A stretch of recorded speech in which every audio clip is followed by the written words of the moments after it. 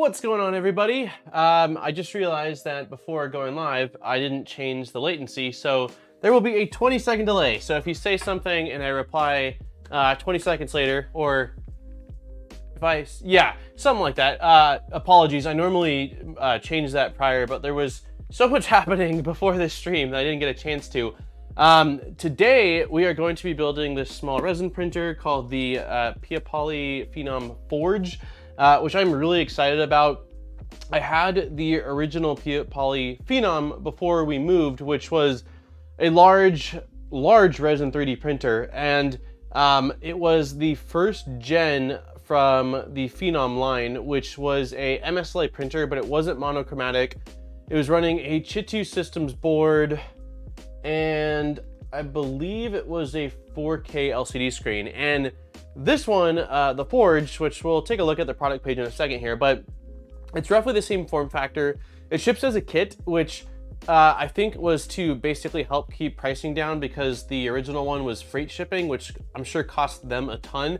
Uh, and because of that, this is actually less expensive than the original Phenom, but it has a 6K monochromatic uh, MSLA screen. It's not running a Chitu board. It's running a different board that's supposed to be more like open form factor, uh, which the sort of reasoning for that was because Chitu Systems has sort of had a monopoly on the resin 3D printing market, and it didn't really seem to be an issue until there was a scare like a year ago where they were locking you into Chitu systems and not allowing you to use Lychee or third-party slicers. It seems like they've released an API and that's all been corrected, but um, not having one manufacturer make every resin 3D printer hardware on the market is probably a good thing. Um, it also has a heated vat, which is super cool. Um, it's definitely something that's important for engineering resins. They're much more fickle uh, in terms of their viscosity. And if you don't have a warm vat, it can be very difficult to uh, correctly or evenly cure those resins. Uh, it also has a camera, which is pretty cool, and it's gonna be fun. I, um, I think the idea of having it in sort of a kit format is also nice for whoever gets it to just get a general understanding of where things are inside the machine, if there is ever any maintenance or troubleshooting versus it being a mystery if there's ever a time where you need to do something on the printer. So um, happy Wednesday, everybody. Uh, Larry, CNC, Dan, Kenneth, Rod, Skydown, Wargaming, G-Funny's here, Chris, Aaron's in chat. I think I said Dan already. Uh, Lisa, Jose, uh, Grant, I hope everyone is having a great week. Um, before we dive further into this, a couple of announcements, things I'm kind of excited about, or really excited about. We had talked about potentially doing a Monday stream, and I'm here to announce it is, it is officially going into fruition. Uh, it won't be every Monday. We're gonna start off with basically every other Monday, starting with this upcoming Monday. Uh, the downside to that is Mondays I work, and so the stream will not be until 6 p.m. my time, which would be 5 p.m. Pacific Standard, so five hours later than this stream. So to EU audience, unless you're working graveyards or you're on a vampire schedule, I apologize. It's just the only slot I can really make work. And we did a little bit of a, we didn't really do a poll, but we got feedback last week and Monday seemed to be the best day to not collide with other streamers so much and kind of as like a cool way to kick off the week. So that'll start next Monday. Um, I believe we're going to be setting up a CO2 laser, which we'll do in here. It's going to be interesting. It won't live in here after that, but uh, I'm pretty excited. Also, next year is, nope, next month is our one year stream anniversary. And originally, I hadn't really planned on doing anything. Like, I was just going to do a regular stream, and that has changed. Uh, so it's going to be sort of similar to our 1,000 subscriber giveaway palooza, if you will. Um, I don't have all of the prizes, and I think I'll keep some of them sort of hidden uh, for now. Um, I, it won't be quite as crazy. Like uh, like the Fabreeko had sponsored a V0.1 kit last time, and it's not going to be quite that massive, but there's gonna be quite a few prizes. It turned, it went from just like, we'll do a regular stream to like, I'm counting probably 20-ish or so prize giveaways. So it'll be like a print and chill stream, probably similar format to last time, but I think it'll be a lot of fun. And the more I started thinking about it, one year of consistent streaming is something that I think we should celebrate. And the channel's grown a lot. The community and all of you have been absolutely awesome. And so if manufacturers or vendors are willing to provide some form of giveaways for the viewers, then I think that that's super cool. So uh, I don't have a date yet. The main concerns I have is, um, oh, sorry, Dan. Um, the main things we'll see on the hot makes. Yeah, I will be on hot makes as well. So the, that's interesting because hot makes is on Monday. So that will be, we'll have to figure that out. Um, the main things I have to figure out is the the anniversary stream will be on a Wednesday, so that way as many people can be here as possible. I won't do it on the Monday later stream. Uh, it needs to not be the same week as Earth because a lot of people will be traveling. So I'll figure it out in probably the next one to two weeks uh, and try to give everyone at least a two week heads up if they want to try to be there. So uh, that's what's going on. I'm uh, looking forward to it. I asked Erin if she wants to be uh, my my assistant again, and she said maybe. So I am uh, keeping my fingers crossed that we can get her because it, it was much nicer having another person to help me out with everything because it was just sort of a lot to orchestrate and it was just a lot of fun having her involved. So that's what's going on there. Um, okay, so let me pop out chat really quick here. Let's take a look at the product page for this.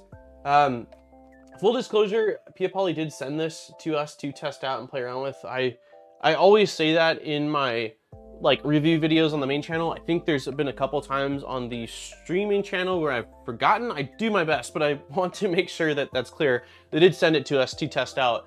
Uh, so heading over to, let me see their website. Doo, doo, doo, okay. So Here's the Forge. Um, so the original Phenom, which again was same form factor and not monochrome LCD screen, was $2,000.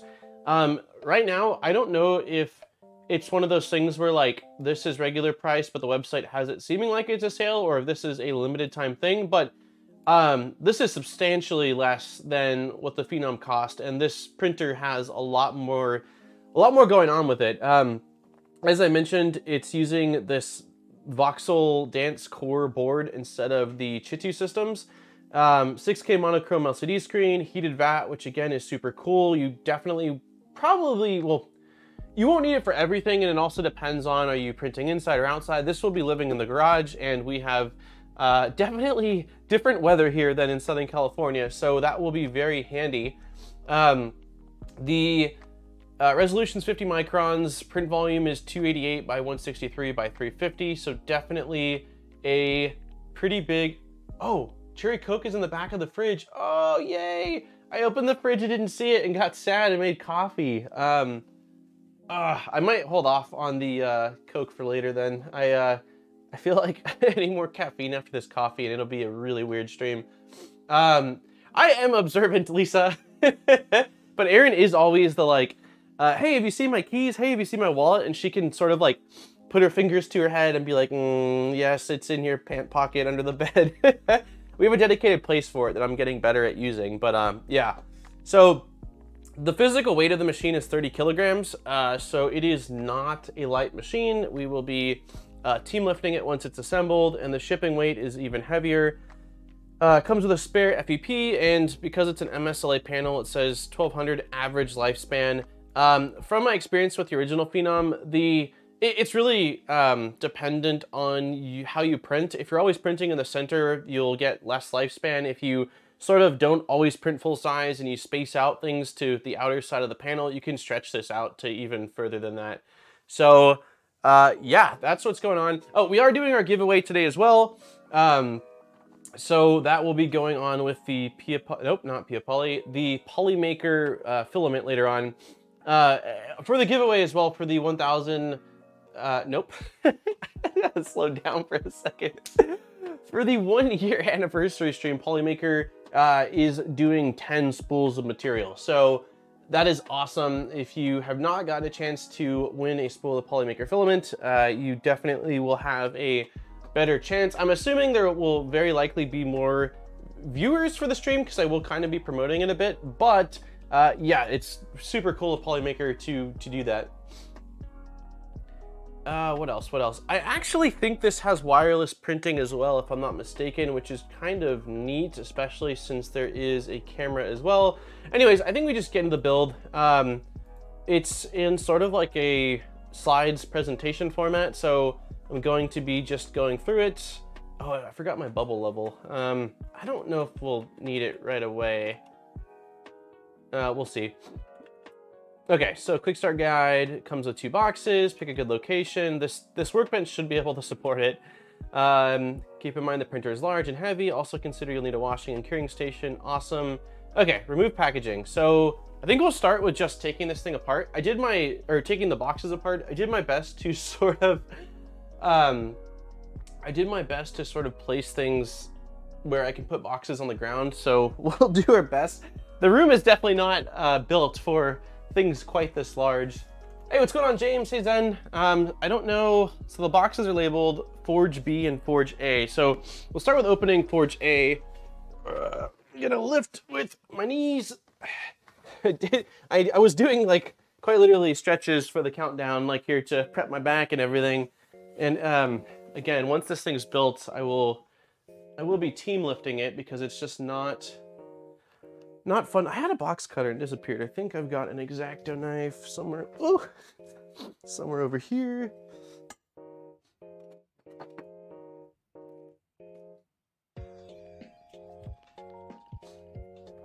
All right.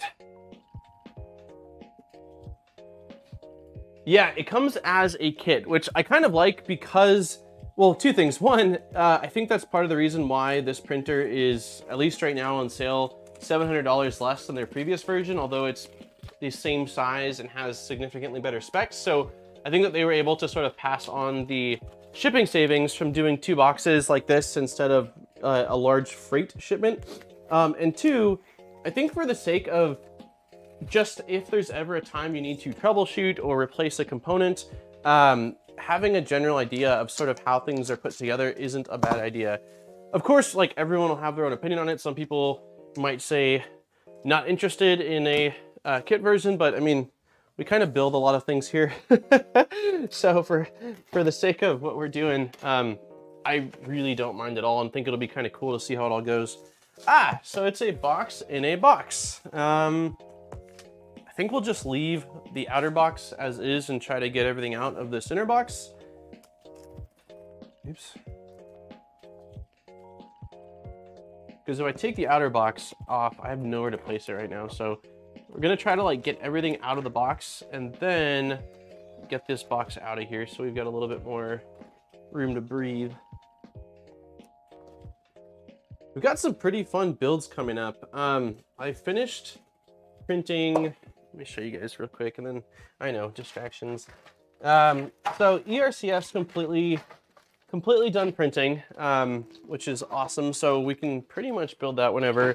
Uh, the Ender 3 belt conversion kit or belt conversion um, is done printing as well in ABS and I got all the hardware and bolts in for that. Uh, the headphones, the head Amame, um, the larger ones are done and I'm working on another accent color option. So that will be a stream. And then uh, we're also gonna be building another Core XY pretty soon here. I don't wanna say too much on it yet, but these there's not nearly as many printed parts for this one. It's a lot of machine parts, but um, the parts for that are done. So yeah, we've got, part of the reason we're doing Monday streams is because there's a lot of stuff going on right now.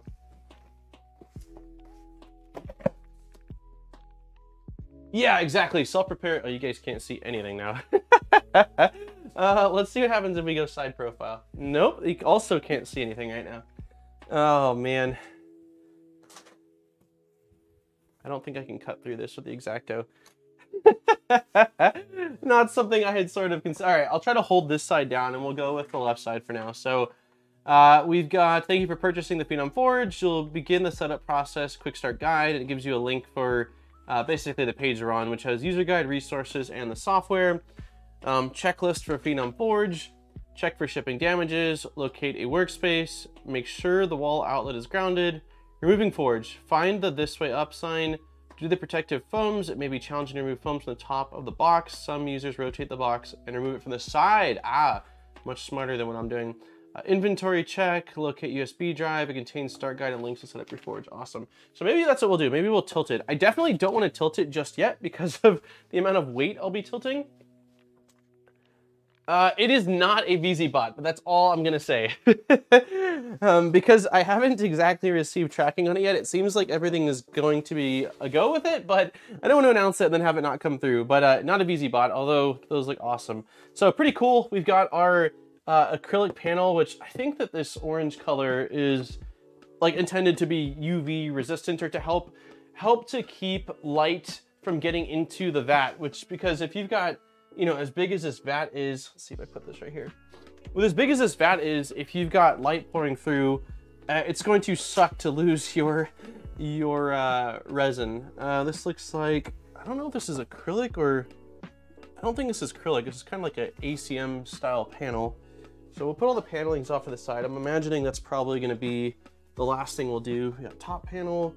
The panels have a, um, I don't know how well you'll be able to see it right now, but there's a chamfer on one side where they match up with each other, which is kind of nice.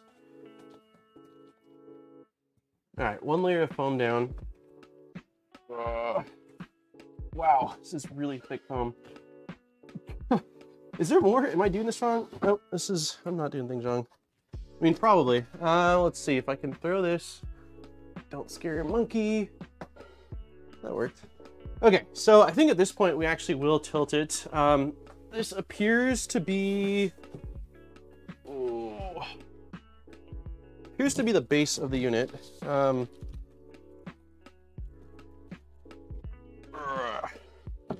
okay, I think that's everything in the box actually. So let me... this will be much easier once, again, the boxes are cleared away. So I'm gonna place this on its side for a split second here very carefully and we're gonna get this box out of here so we can see I can see what we're doing a little bit. There's, it's like a uh, booby trap in here with all the cables running. It's like I have to, what is it in uh, dodgeball? Jump, jump, dodge. No, what do they say? I don't know. If you can dodge a wrench, you can dodge a ball. It's kind of how it feels sometimes in there. Okay, yeah, box is empty. Let's put foam back inside. Another foam piece that I threw earlier. Whew. Right, here's my, my exercise for the day. Let's go back to the front cam. Hey, what's up, zombie? BBs, what's going on? Uh, fluorescent lights are actually UV lights. Fluorescent lights are actually UV lights with white phosphor coating. Interesting. Uh, hey, what's up, Printer Prawn? Okay, so I'm gonna leave just leave this guy as is for a second with the cover. Yeah, leave the cover on for a minute. Um, let's get the second box out. Uh, I think I'm gonna leave second box on the ground. Um, if that's cool with you. I think it's probably easier for me to lift things out of it on the ground versus having it so high up. Um, let's see. Okay, it's another box in a box situation. Maybe I should have unboxed this before. I Again, this is, like, we've unboxed some pretty large stuff on stream, but this definitely takes the cake. Um,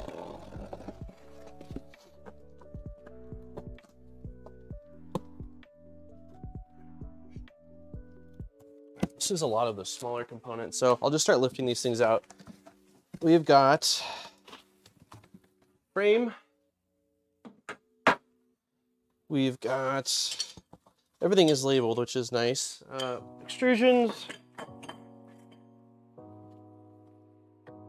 This appears to be everything right there. Then we've got more panels. We've got left panel um, and right panel maybe.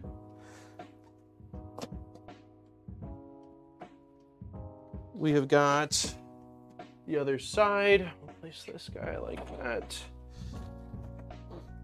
We've got FEP film. It looks like antennas. Yeah, two antennas. So there's definitely, I'm, I'm nearly positive that it has Wi-Fi printing. Um, this stuff I actually can take, uh, let me see here.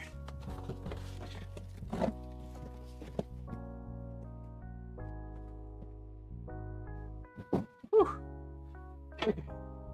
Okay definitely, uh,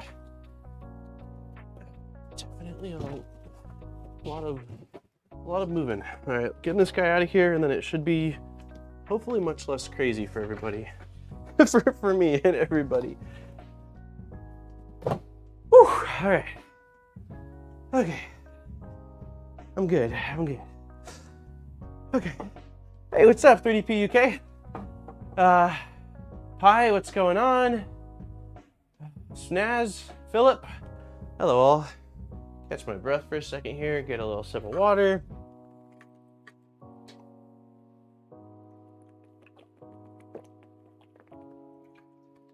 Okay.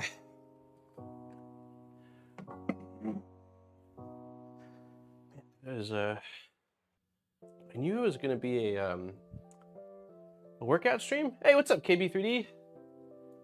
Let's go see if we can do side. I don't know if side will be better. Um I think it might be a little bit better for showing off some of the parts that come inside of this kit. Hopefully. Okay, so what else do we have? We've got our power supply, which is really small because these generally don't take a lot of power. Um, 24 volts, 2000 milliamp uh, power supply. We have got, okay, so there must be a second power supply. Oh, wow. Yeah, yeah, yeah. Oh, okay. That makes sense. One of them's probably for the heated vat. Okay, so Chunky. Hey, Chief Funny, thank you for the uh, gifted membership. Looks like BBs, you got a gifted uh, gifted membership.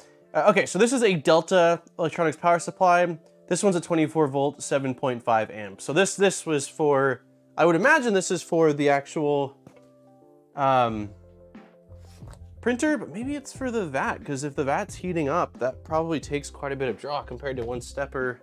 Um, I don't know, we'll see, we'll figure it out. Uh, cool, so this is our little module. Um, this is going to be for setting the temperature of the vat. Again, you don't have to run it, um, but if you're using engineering resins uh, and you are in a cooler environment, uh, not only will this make it where you can actually print with that, but it'll just make it more consistent. If you set your vat to a certain temperature, get your settings dialed in and know that every single time you've preheated it so the vat is at that temperature, then it really should help with consistency, which is pretty cool. In my uh, in my video I made on what I'd like to see in Resin 3D printers, uh, this printer answered some of those things. A heated vat was one of those one of those things I said I'd like to see, so it's pretty sweet. Hey, what's up, Eggy? Uh, let's see. Do you prefer external bricks like that or built-in supplies or uh, built-in power supplies? Uh, that's a great question. I'm a little bit indifferent. Um, the the thing I like about having them internal is that usually I don't. there's less chance of losing them, right? Like it's there. You just plug in typically your standard plug and you're fine. The downside is if you need to replace it and it's internal, then it's more of an issue. But it's not all that often I've had to actually swap out a power supply like that. So I don't know. Um, it certainly takes up maybe a little bit more space too, but when you're considering how large this is, I don't know if space is that big of a concern. I think I'm indifferent. I don't have much of a, um, I don't think I have much of a preference on that actually. Wow, okay, this is, um, this is the majority of the weight. I don't know if I can even pull this guy out. Wow. okay, so this is our uh, Z-axis. Uh, it is chunky, two beefy linear rails, and it actually looks like it's a ball screw, uh, not a lead screw. Uh, I'm almost positive that's a ball screw. And it's all, I think it's aluminum, but could it possibly be steel? I've got, let me see here. I've got, let's do a magnet check. Okay, I think it's aluminum. I'm not sure if all steel is typically, I think, I think, isn't all steel magnetic or certain certain grades of steel? I think it's aluminum. I believe it's aluminum. Um, geez, yeah, we'll put this off to the side. That is, is a weapon. okay, aside from that, we've got, um, looks like some gloves, some filters, our camera, um, which looks kind of cool it'll just be neat to be able to check on it, especially because it's such a big printer from, uh, you know, from inside. I'm not going to have it inside. We've got a bag of hardware. It Looks like mostly fairly large bolts, a couple uh, hinges for the enclosure. So we'll see how that goes. We've got a USB-C cable. We've got a um, flash drive, Allen key, couple Allen keys, and then our plastic spatch. And then we've got our, cheese, our build plate, which is very large. Um, I actually have a flex plate system coming for this from Wham Bam with their new extra strong magnets. So uh, I definitely recommend, I, I like flex plate systems for resin printers in general, uh, but I certainly like it for large, um, large resin printers. And then we've got our monster vat, which, can you see the heating elements? No. Cannot see the heating elements, so must be, oh, cool. But there is a, interesting, there's a USB port right there. Um, it's aluminum, definitely aluminum, and very chunky, which uh, is probably because, again, they have a heating element lined within the inside of it. But this is a really nice looking vat.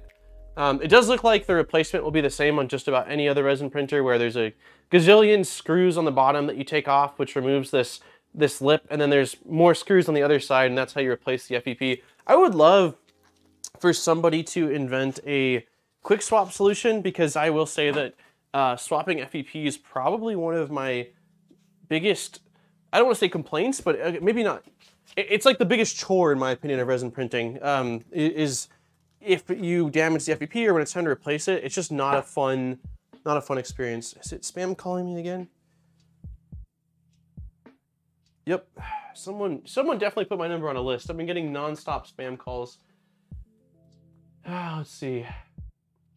Hey, what's up, Lap? Uh, are we gonna see it print tonight? I hope so. Uh, I really hope so. Um, uh, we'll see. uh, it's definitely going to be the goal, but it, it, just depends on how long this takes together. Some stainless is not magnetic. Okay. I was to say, I thought there was some forms of steel not, but I think it's aluminum. I think pretty much all the metal on this is going to be aluminum. Uh, stainless, not magnetic. Some people. What's up, Tony? Uh, careful using flex plates on huge build plate like that. The pull force. Um, the pull force might actually pull the plate off the magnet. The um, Wham Bam came out with a new uh, magnet system that's they're like XTR or Extreme, uh, and it's supposed to solve that issue. So that's that's what I'm going with on this. But yeah, I agree. Uh, the pull force can be pretty crazy. Spare vat is definitely uh, so for some of the smaller resin printers that have plastic vats, you can get replacements for pretty inexpensive, but it's just not viable on something like this. Uh, let's see. G-Funny, can we please get some hat options in the merch store? Yes, I'm gonna, speaking of hats, I'm gonna put mine on really quick. Um, so the merch store has been awesome. You guys are incredible. I, I, think most that ordered on the initial stream, so two weeks ago today, have received theirs. I've seen some pictures of uh, like people wearing the merch or just, you know, of them receiving it. And it looks incredible. I'm so, so happy and excited. And it seems feedback's been great. So the game plan with merch was to sort of like start with what we had and then go from there. Um, the the uh, Stream Elements has hats as well, and they've added an like embroidery option. The embroidery option is much more limited than uh, like the printing that they do for shirts, but yes, uh, hats slash beanies will be coming. I just need to figure out the logo situation, um, whether I'm going to commission something or whether I'm going to sort of try to create something myself, it just has to be a much more simplified design versus like the spool bus. So there will be more. Um, I absolutely want like a um, Modbot themed snapback type thing as well. So it will be coming. I just don't know when and want to make sure that uh, want to make sure that I uh, am happy with it. I, I, took my time with the spool bus one. It was like a three month pro, prog, uh, like from beginning to end. And so I just, we will expand, but I just, I want to make sure I'm very happy with it before I even think of recommending it or, or putting it on the store for everyone. So dad hat, please. yeah, we'll, we'll, we'll, figure it out. Um, okay, so going back to here, we've got remove the tape, open the carton, Hey, speaking of merch, uh, JW bought a Modbot Spoolbus t-shirt. Uh, thank you very much. I hope you like the shirt. I, uh, my, my, it's funny, my parents, um, reached out saying that they wanted to get a shirt as well. And I said, well, you know, I can get like a shirt for myself, and if I get it for myself, they'll let you get it at cost. But both my mom and dad were like, nope, nope, we want to support you, and we want to we want to pay like the regular price. And I was like, I was like, I really appreciate you guys. So uh, my mom and dad ordered a shirt. And they didn't tell me that they actually ordered it, but they're coming to visit in a few weeks. Something tells me they're going to show up at the airport wearing Modbot merch, which is amazing. Uh, so not a fan of snapbacks. Okay, we can, I think they have both options. I like snapbacks because uh, I've got a big head and um, as my hair gets longer, I find myself getting headaches at a specific size. But if there's both options, I will definitely, um, I will definitely make sure I do both options for you guys. Uh, I saw Zombie wearing one in the stream, so I wanted one too. Gladys. Hey, thank you, Skydown. I, I appreciate it, man. I hope you like it. What color did you go with? It doesn't tell me the colors, and I uh, I know Zombie got the green, which looks amazing. The green looks sick. Okay, remove the tape, open the carton with two layers. Oh, it does say there's two layers, so I should have known. Uh, take out the machine, brackets, and casing that needs to be assembled. Awesome. What's next? Tools you'll need. I think we'll be good on that. Find a place, level, yada yada. Remove, wait. Oh, I, I went backwards. Um, box A content, main body, top panel, back panel, front door panel, welcome note, cool. Uh, then this one has the remaining parts, screws. I guess we should do, uh, I'm less concerned about big parts and it's probably not a bad idea to make sure we have all of these little baggies in here. So let's do a quick run through from that so we don't get too far into the build and I'm freaking out trying to figure out where everything is. So let's see, M3 by 12s, uh, check. M4 by 10s, check. Uh, M4 16s, check. Everything's nicely uh, individually packaged and labeled with big stickers, which is nice. Uh, M4 25, check. M5 14, where are you? M5 14? Yeah. M5 20s, yes. M6 12s, yes. M6 20s, yes. Did I say M5 25s? I did not, but I have them. Okay. Uh, hinges 2 and door handle set. I don't see door handle set.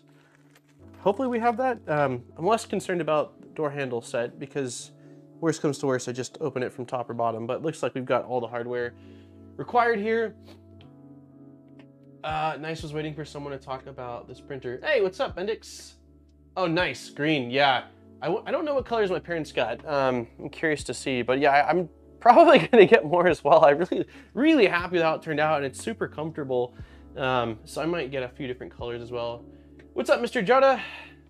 Okay, so we've got hardware, toolkit accessories. That's fine, I'm not too worried about that. Open the carton equipment, take out the frame and door panels, take out the massive Z.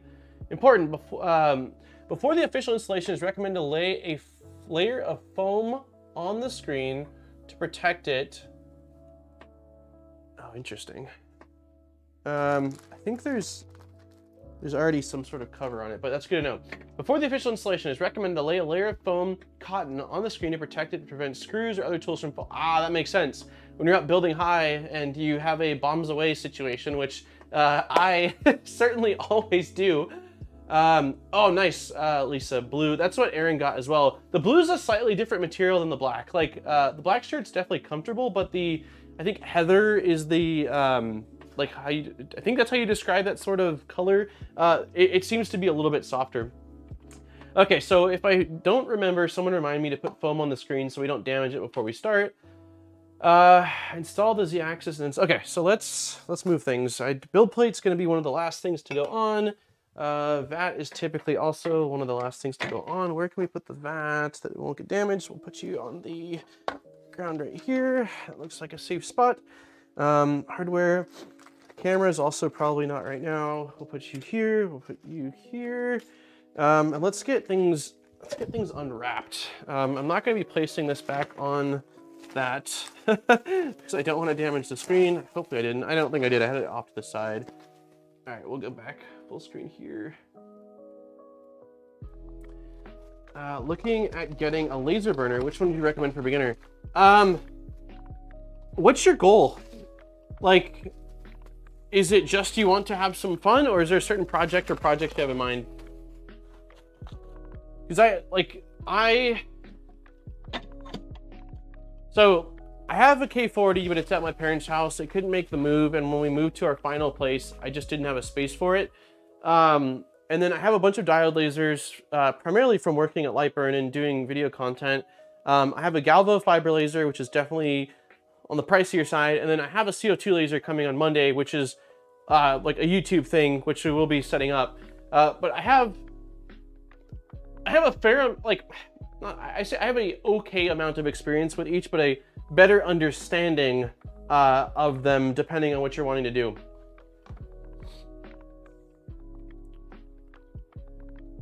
Uh, the, the LaserPecker, is that the one that's like Galvo diode?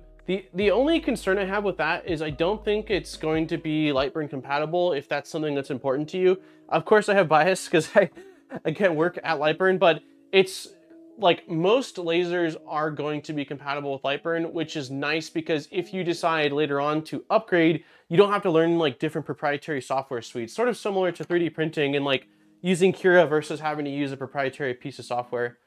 Uh, graphics and cutting acrylics.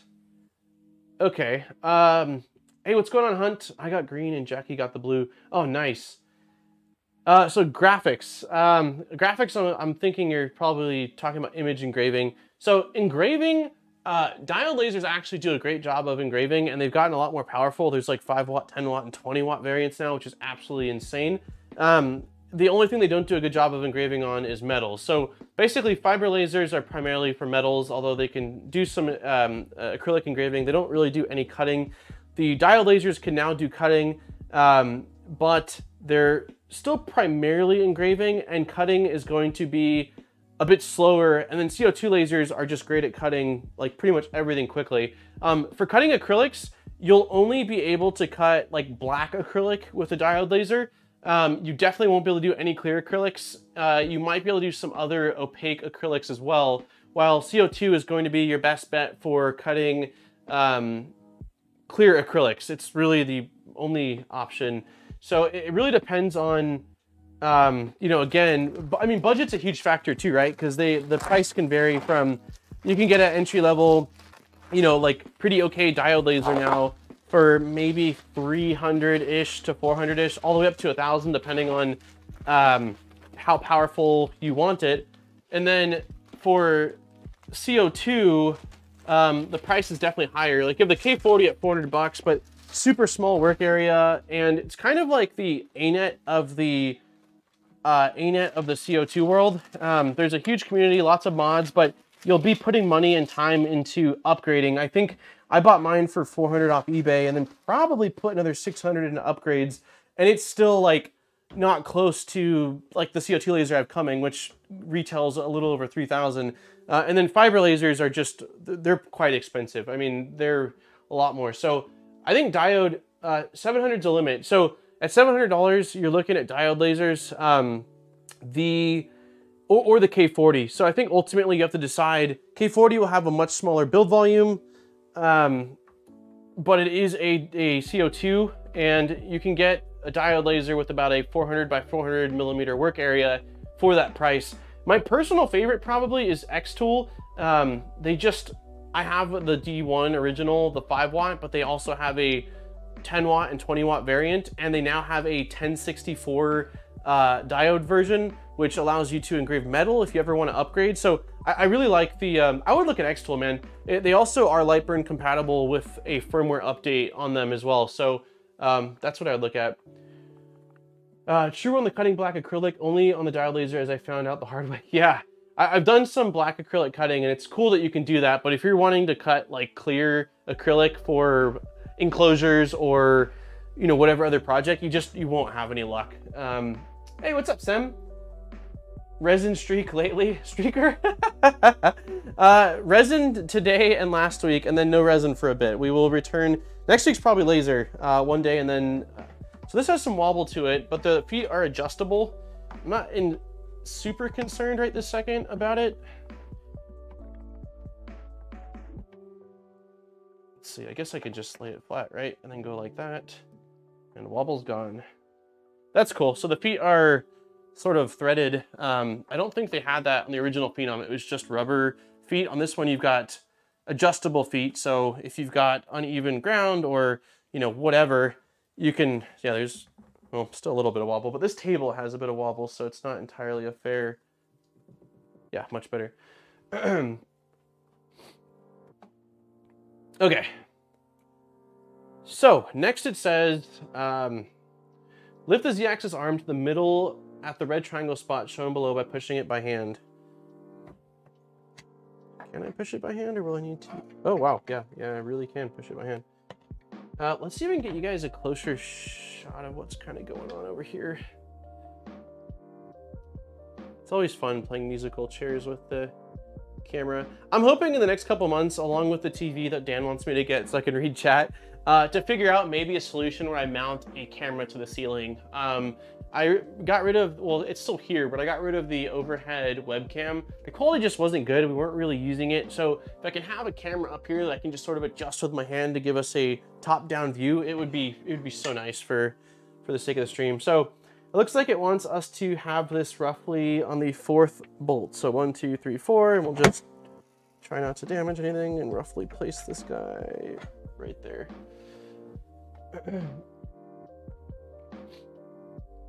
Oh, that's right, Luke. You did say you got the 20 watt. Um, yeah, it's absolutely insane. So the the way they work for anyone interested, I know we're going off on tangents and not building. It's sort of my my mo is that uh, they can't actually make a 20 watt laser. At least that's my understanding, diode laser. And so they're just combining beams. So inside of the 20 watt X tool, it has a four 5 watt diodes that are all being bounced off of a mirror and then all going into one compact beam. So you're getting the combined strength of the four five watt lasers, which is crazy. And I have, um, no, I think I have the 10 watt version here. Not, I definitely don't have the 20, uh, but I have a few five watt or four watt diode lasers and then the 10 watt X tool. And if you're looking to cut or really even engrave, but certainly cut, it, it makes a big difference in terms of uh, speed and just like, less passes when you're trying to cut out material. TV win. I don't know. I don't know, Dan. Maybe soon. It's almost my birthday. Maybe I'll treat myself uh, to a to a, a TV for the stream room for that or something. We'll see. Okay, so we have got the arm moved out of the way. Great. It says when you remove the lower, install the Z-axis and stop sensor. When you remove the lower chamber from the box, you will see two cables like the upper right. Untangle and keep the end stop sensor cable shown on the right and put the motor cable back in the opening. Okay, that sounds easy enough. Uh, let's move this down here, focus in on that. Yeah, this thing is huge. I mean, luckily we have the space here, um, which is which is nice. Uh, let me go side cam. Let me put on our retro music. So we're 44 minutes in and I haven't, I've unboxed. oh man, all right.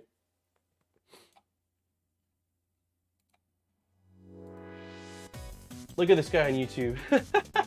What's up, tripods? Uh, speaking of uh, diode laser stuff or just laser stuff in general, tripods, when I was talking about the 1064 wavelength adapter for the D1 Pro or D1, uh, tripods is actually the video that I watched on it, and it is super cool to see. It, it's not a very high power at 2 watts, but the ability to truly engrave on um, metal is amazing. And he did titanium, copper, uh, stainless and aluminum, I think, in his video. So very cool stuff.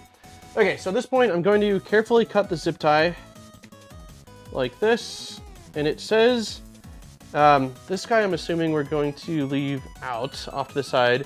Um, and then we're also definitely going to be leaving the, oh man, don't, hold on. I need to just focus here.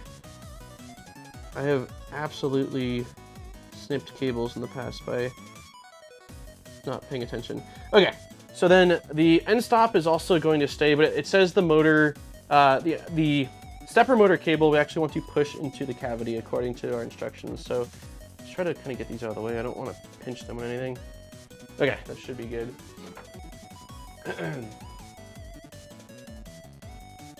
yeah, I would certainly say I have a 10 watt. You do, man, you got to get that thing out, dude. Especially with your builds. Um, uh, Steve uh, from Steve Builds, I actually sent him a 5 watt laser after we were talking at MRRF, And man, the things he's been doing with his 5 watt diode laser is incredible. From like cutting ACM panels to awesome custom etches. Like he's been just doing crazy cool stuff. Uh, I just uh, got a Sculpfun S10 and compared to my OK40, it's actually, yeah, it, um, diode lasers have definitely gotten better. I still think like if you're um, like, if your main goal is lots of cutting and especially if clear acrylics in the equation, then CO2 is the way to go. But uh, another factor to consider with diode lasers that is pretty cool is the mobility beside them. Like, yes, um, not having an enclosure on them is not ideal and certainly not gonna work for everyone's situation, but the ability to take it down, use it, and then just hang it on a hook on the wall is really attractive. I just got a 100 watt MOPA fiber. Oh my god. I have a 30 watt MOPA fiber. That's yours is much, much beefier.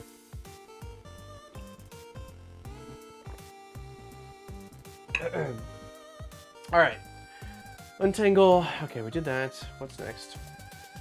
Install the Z-axis and end stop sensor. Okay, so it looks like place the Z-axis in place and align it with the screw holes. All right, that's what we're gonna do then. Ooh.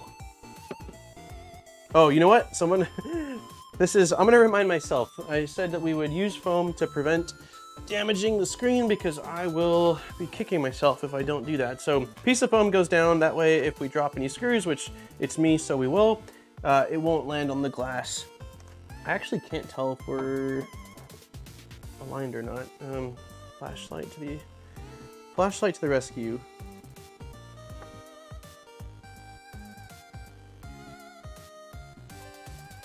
Okay, that looks sort of aligned. I'm sure we'll we're gonna loosely insert all the bolts anyway. Um, it says fit it with six M5 by 20 cup head screws. So M5 by 20, nice. We'll just actually place them on the screen. It's now become a place to store things. Oh, that's too big. Um, I have eight lasers hanging. Yeah, it's it's so nice. Um, come on, drivers. It's so nice to be able to place them on the way. I have like three diode lasers just on the rack and they take up little to no space, so it's very nice. Um, Mamba Army, what about focusing the laser? Focusing the laser on the resin printer and leave the engraving for another live. Um, I will, I will do my best. Next week we are going to be doing a um, CO2 laser live stream. Uh, I think probably on Monday, depending on when it shows up. So we can definitely have much more laser talk then. I agree. If I, I do get distracted a lot, and I enjoy that. Uh, I enjoy that actually quite a bit. But um, if we're gonna make some progress on this, I will try to try to make some progress before we go off on another tangent.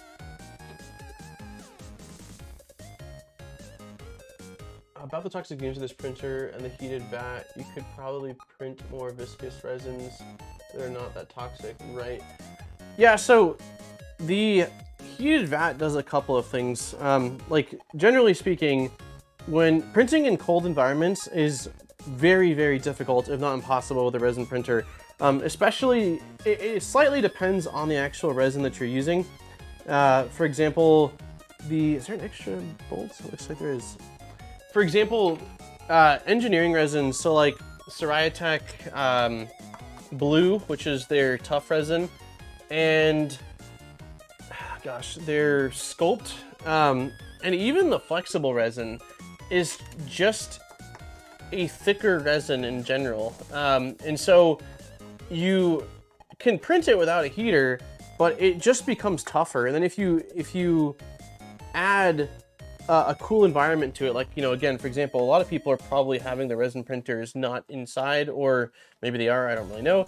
Um, it becomes near impossible to get consistent prints year round, especially if you're doing large prints. So the ability, I, I, probably won't use the heated vat for all resins, like standard, um, we'll, we'll see, I say that now. Standard resins, like just your basic model resins, I don't think I'll be using it on.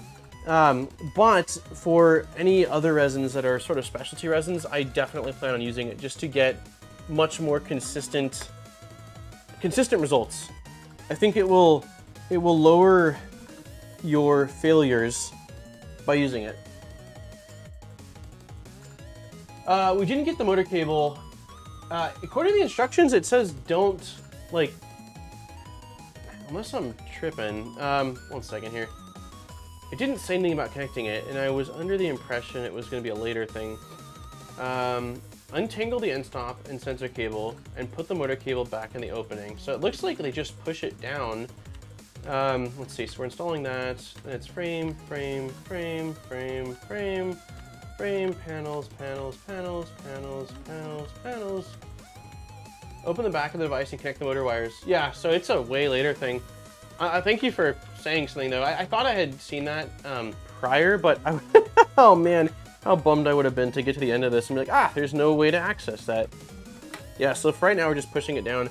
I think it's because there's not a whole lot of space other than for the stepper to get through the cutout, and so the um, they don't want you to damage it accidentally.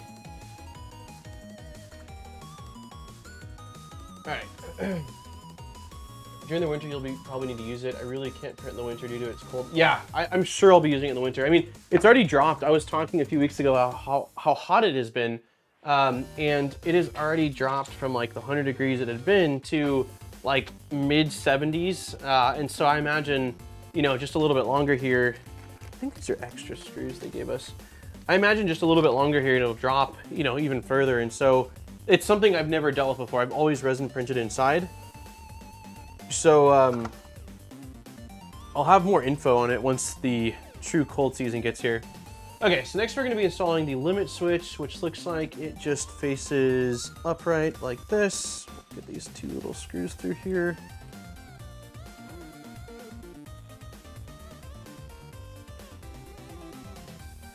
I mean, compared to the FDM prints we've done, uh, I mean, FDM printer builds we've done, this is going to be, I think, and I hope they don't jinx it, a relatively simple build.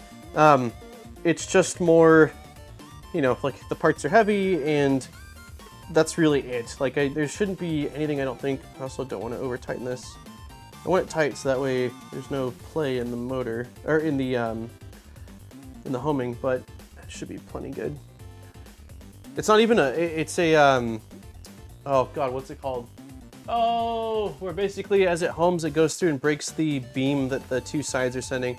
It's not a mechanical switch. Someone told me what it is. Not inductive. It's, I can never remember what they're called, those kind of switches.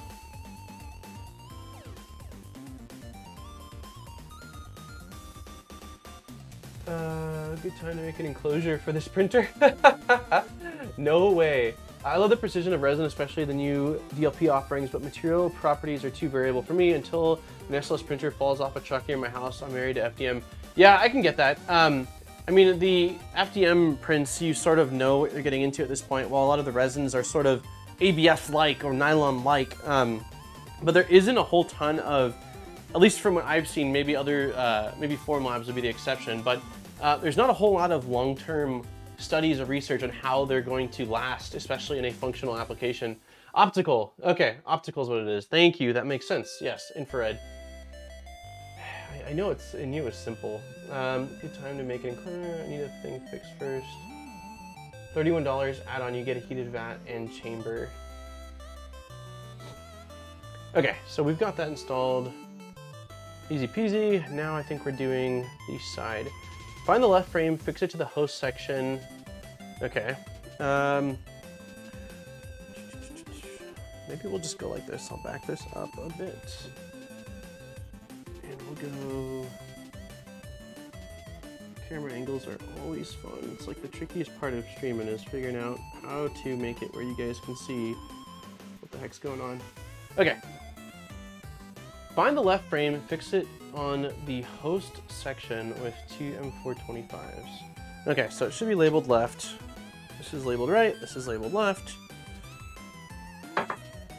And there are bolts, so the only thing I need to confirm is, oh, it's pretty easy. Um, so, going to the side, uh, there is the front side has a very specific look. Like the, the rest of the sides are just open 2020 extrusions, uh, and the front side has this sort of cover to it. So we're going to place, it up. we're going to place this right here, keep the cable on the inside. Okay, and there's a lip on this, so I'm assuming the lip's probably going to align with those holes. Um, and then what are we using? M4, M4 by 25s. The resin, uh, the resin polymers in resin aren't as good as the polymers in filaments. Uh, the bonds aren't as strong. I will say though, it has impressed me the um, sort of, can you stay for a second? No, I don't want to risk it. Um, I will say it has really impressed me the sort of expansion in the resin catalog. Um, I mean, it was basically all model resin initially, and there's definitely more options now. Um, but maybe it makes more sense to just go front. Let's try this for now. Um, yeah, it's still, you know, still not on par with FDM, but I think that as time progresses, there will become more and more, um, more and more resins just sort of, I mean, when, when I got into FDM printing, all there really was was like ABS, I think NinjaFlex, and PLA was sort of coming around. Um, just loosely put that. And then, you know, now we have all of these different materials and variants of these materials. So I think that as resin printing still continues to become, hopefully I can line this up, there we go. I think as resin printing still continues to become more popular and more accessible, we'll see further and further advancements and development in the actual resins themselves. But there's no denying for like pretty prints, whether it's cosplay stuff or whether it's, um, you know, just artsy prints, like it, the quality is insane. Um, I also, for functional stuff, have seen there's castable resins, which is pretty cool for, um, I think some of them impersonate wax, so it's almost like lost wax casting. Uh, I also have seen people make molds and and they've casted uh, directly into the resin printed mold with like a hot rubber or a um, uh, different types of resin. So there's stuff like that that's pretty cool that you can do with it uh, where you're not exactly using the the photopolymer resin as the you know the final product. Um, okay, so got that. Find the front, find the front, back one, and back two support brackets.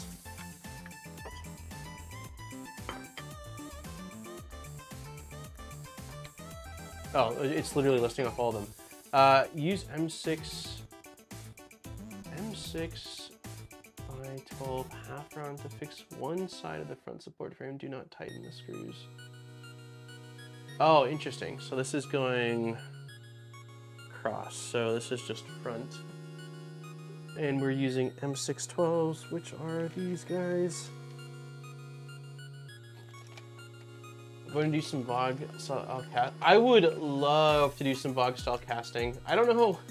I um, there are certain resins that can literally hold up a truck in the shape of a chain link around the an inch diameter.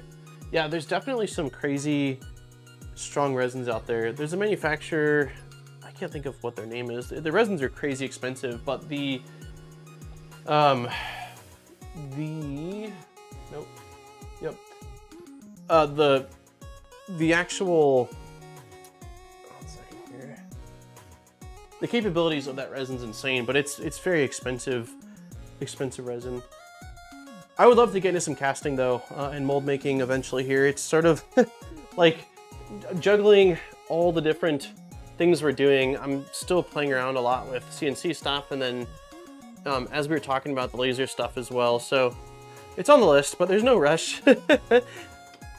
okay, so it looks like these just kind of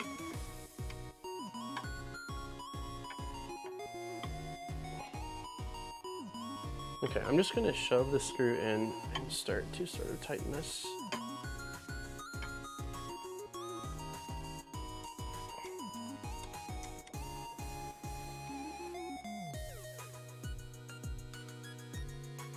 Okay. I know it said to not like fully tighten it, probably because we need to, let's just let it hang like that for a second. I don't think you guys could even see that. Uh, yeah, you can.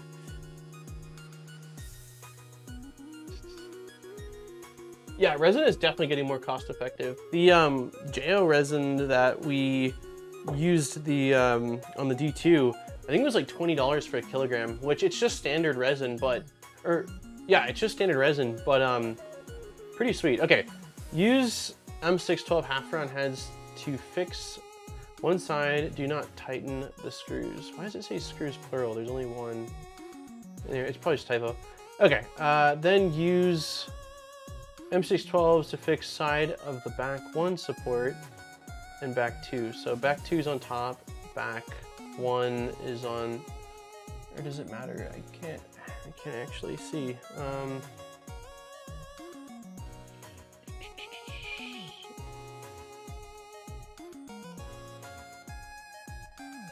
wait, what? That's doing the opposite of what I want.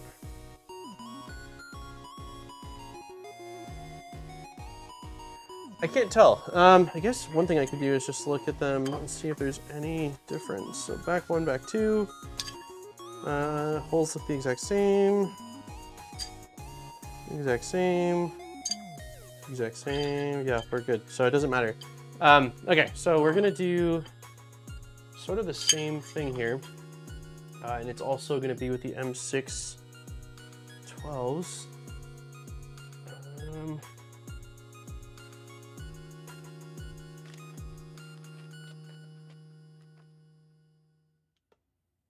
I have no idea what's going to be the best angle to show you guys right now. Um, we can do this, I guess, although I still don't know that it's the best. But I guess if I tilt it like that, it might work. Um, and so, as far as direction goes, it looks like we want the sticker, the sticker that says back um, should actually be facing backwards to have the correct orientation. At least that's how it seems, and that's that's what we're gonna roll with. So, I'm gonna keep them loose as well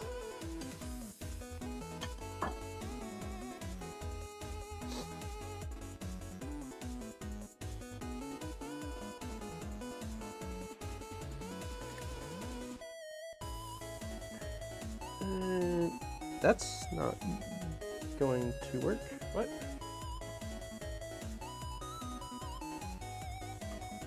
Okay, so that one needs to be a longer bolt. Uh, let's try the top one. Top one's a different, different opening.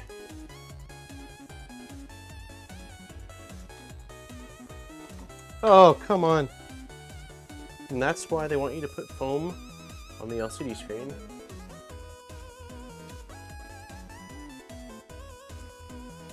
There we go. Okay, so we will get this guy threaded. Again, not tightening it fully, just sort of getting it in there.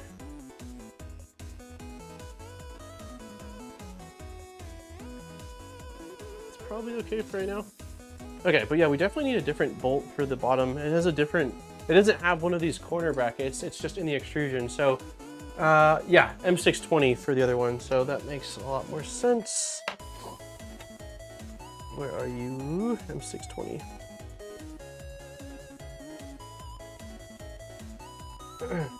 Somebody remind me in 26 minutes that we're going to be starting the, uh, opening the form for the giveaway.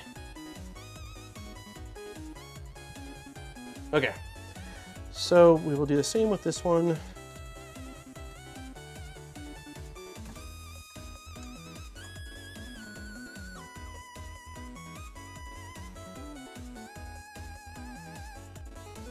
Was actually, tighten it all the way. Okay, so I've got it loose as well. Let's not lose this one. All right, we've got our support beams on. Done with that. Okay, uh, find the right frame and fix it to the host sections with M425s. Okay, so same thing we did. Um, orientation looks like I've got it all correct. We're gonna do, oh, let's make sure so this has a specific part to it. It looks like it's gonna go like this. Yeah, so I guess make sure orientation, um, like the sticker that says right should be on the outside and this little bracket needs to be on the front inside. So we are going to align this like that. And then, hey, what's up, Steve? Thanks for renewing your membership. What's going on? building a building a little resin printer today. M425. This is my exercise for the week. Where are the M425s?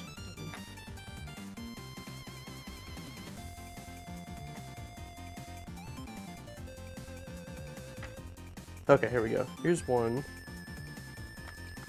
Oh, it's the same... Clearly, it's the same one as each guy here. M4, that seems right. 25, that is absolutely correct. Okay. All right, bolting frame in place. So far, assembly has been very easy. Um, make sure I got this lined up. No, this is wrong. No, it's not. there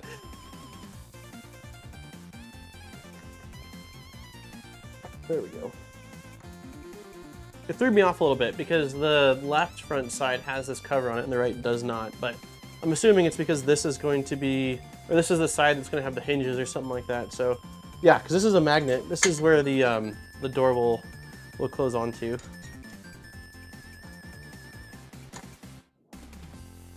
Did I tighten this one fully? Okay, so this one we're going to be tightening fully. That resin printer is so big. Wondering if I can print my missing leg with it. Thoughtful John. oh, tripods. The resin printer's so big, wondering if I can print my missing leg with it.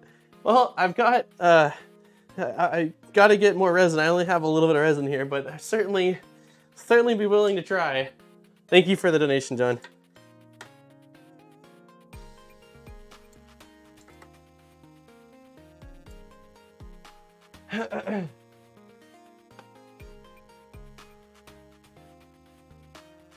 Yeah, I could fit probably uh, some of the other resin printers we have here inside of inside of this one, like uh, the nesting dolls.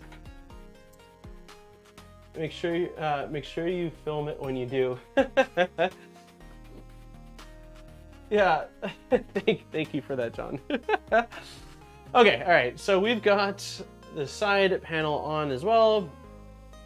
Next, I'm assuming we're going to be tightening everything. So the connection points between the right and uh, wait, the connection points between the right frame and back one support frame are fixed with M612s. Connection. Okay, so we're basically doing the exact same thing we did. So um, the 12s. Let me make sure I've got all the bolts correctly here. Okay, so we need two M612s. Bam. I guess we'll start with um, here. Ooh. Let's go with the side cam. All right, so starting with these ones, the M612s are for these top top bars, and we're still, I'm not gonna fully tighten anything yet. I wanna make sure I get everything kind of in place, and then as a last, um, the final thing we'll do is fully seat everything.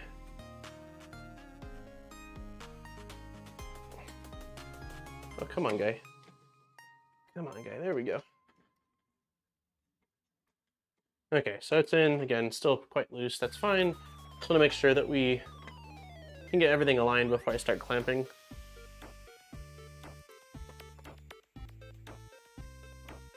Another one bites the dust.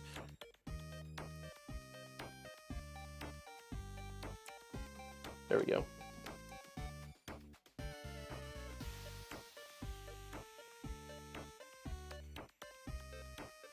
Think I lost my leg in the attic. Needs to be printed in pink resin. We can make that happen. Um, do you have chash? Chash okay, so M620 uh, then M620 is going to be for this one because it doesn't have the same corner bracket. It's basically going through through the extrusion, um, and it should be this guy, I'm not mistaken, but I'll check again. It looks like it's an M5. M620. Okay, and it says then tighten the screws at each end of the front, back, and okay, so it, is, it does want us to tighten everything after this. So let's get this installed. Let's get it lined up. Okay, so that's installed. Now let's go ahead and start with the top. Do I, there's actually little tabs on these corner pieces, so you really shouldn't have to worry about aligning anything. It should just sort of align itself. Um, kind of self self squares itself in a way. All right, and then we're gonna do the same for the back.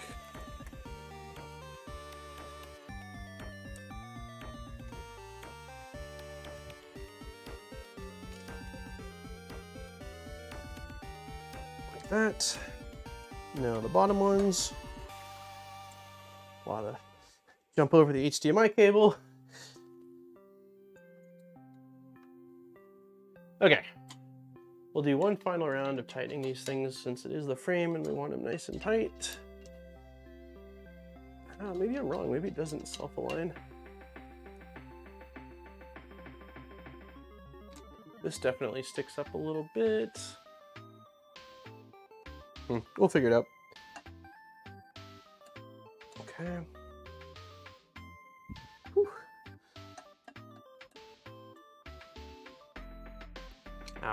Shoulder popped. Oh yeah, yeah. Uh, just want to say I love the music. Hey, thanks, Dougal. Yeah, this is the um, uh, this is my favorite album I think out of the mix.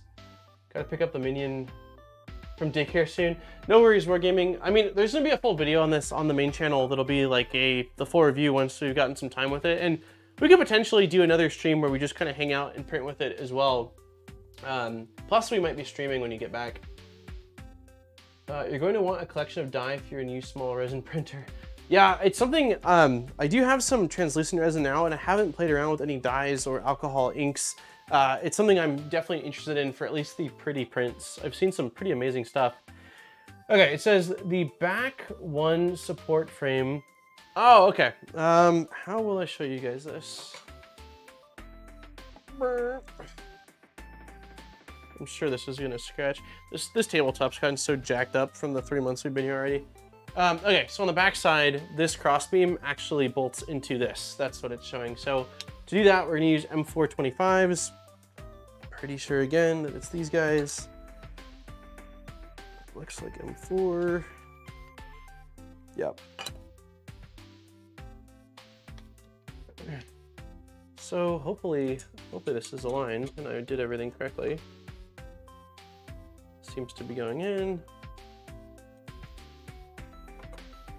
Seems to be going in. Nice, that should really help to just sort of make the top a lot more solid. Stiff, it should really help you stiffen the frame, I guess is, is what I'm going for.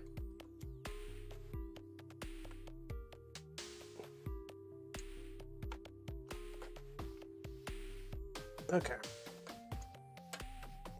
All right, that should be good. It's not, I mean, it's heavy, but it's not terribly, too terrible right now. All right, let's go back to desktop.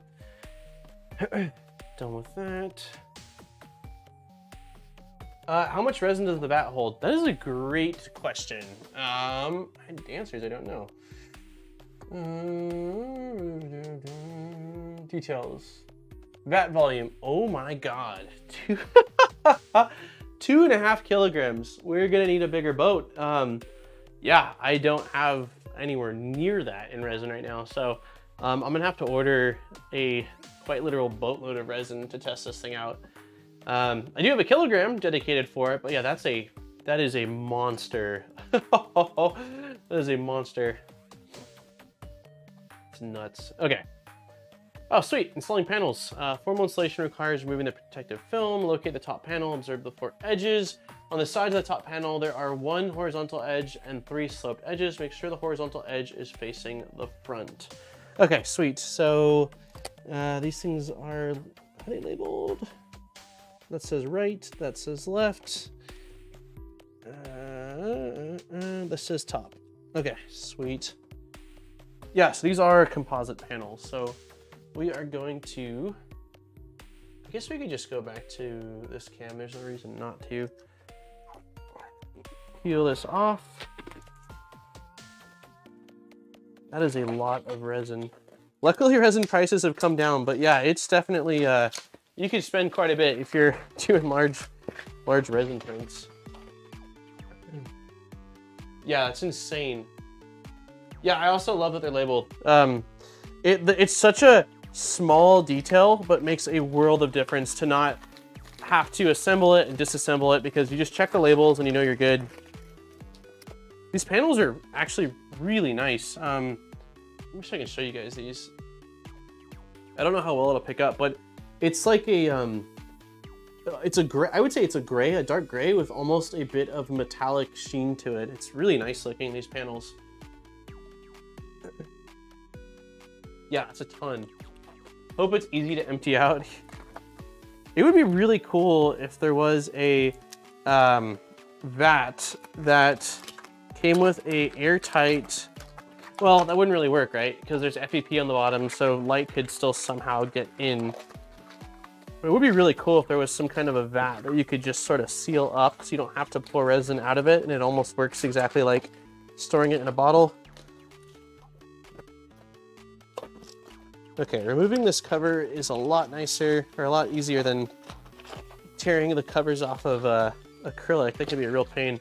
Okay, so it's labeled top. The um, holes have pockets, so you know exactly which direction needs to go, and um, three of the sides have chamfers, one does not. It says, make sure the horizontal edge is facing front. So we want the chamfers to go in all the directions but the front uh, like so.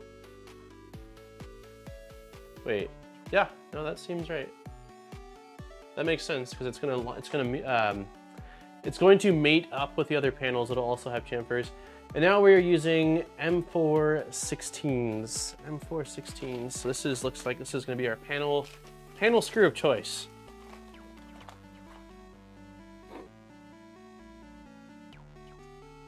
Delilah. Where are you? You're not being good. I hear you. She's like, you're streaming. How do you hear me? Okay, let's see if I can get one of these started. Nope. Nope. Okay, come on, guy. What am I doing wrong here?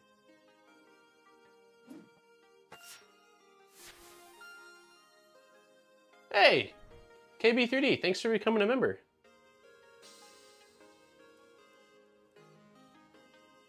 I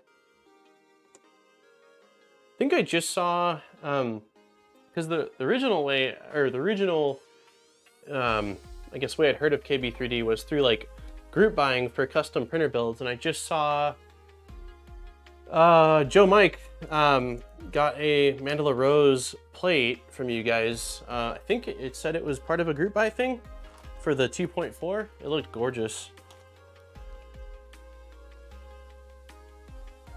Hey, Kevin's here.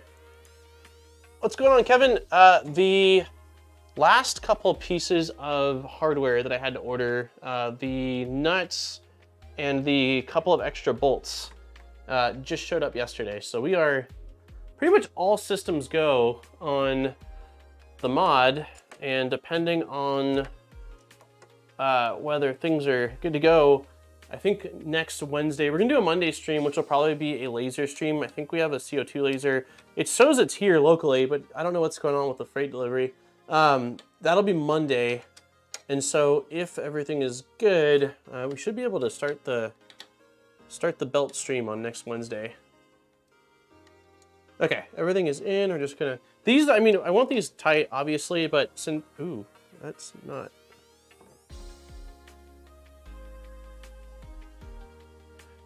I, I goofed. I goofed. Awesome. Um, I got so used to the front of this facing that direction that I forgot I'd rotated it. So yeah, I, um, the flat end is currently on the back. Nobody saw that in chat? Nobody, well, I guess the camera angle. I gotta, I gotta rotate this, just a 180. It's pretty easy to tell because the front little panel uh, just doesn't mate up nicely when you have it the wrong way. So let's see if I can just hopefully loosen these and do a quick spin. Okay. Maybe. Nope. Okay, can we do this without dropping screws? That is the question.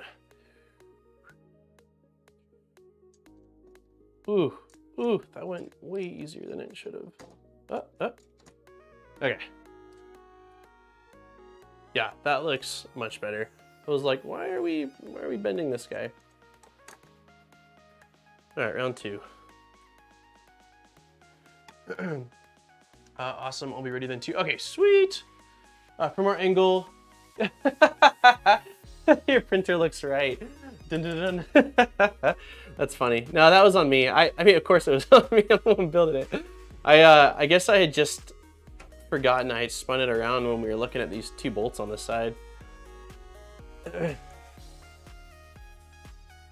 right, it's gonna be, I'm gonna try to power through the panel portion because this is, this is going to take a little bit. I think this is like kind of the meat of it. After this, I'm pretty sure we're gonna be plugging in wires and I'm excited to just see like if how the UI looks since it's not the Chitu board, um, you know, if it's different, if it's not. And then also uh, you can use, I believe, just about any slicer with this, um, but the company that makes the board does also have a slicer and I've never looked at it. So I'm sort of curious to see um, how it looks and what the workflow is like.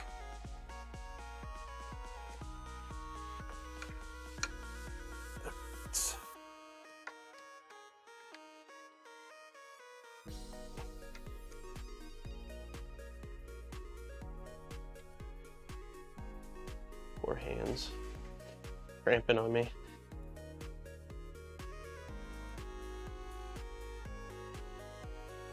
Uh, a group eyes are pretty special for sure. Thanks. Oh, cool. I, sorry, I almost missed it.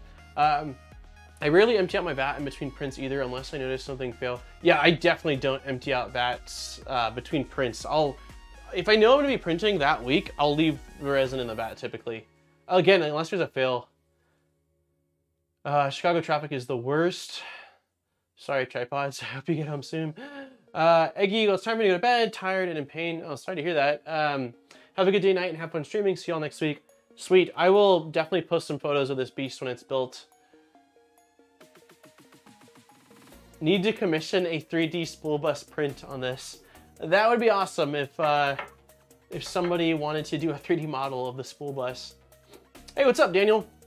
Okay, so we are done with the top panel, and I'm assuming it's on to the next panel. Yes, locate left panel and observe the four sides of the, okay, let's just grab left panel, peel, uh, left panel, left panel, that's this guy. Seven minutes and we'll open up the giveaway, uh, the form for the giveaway.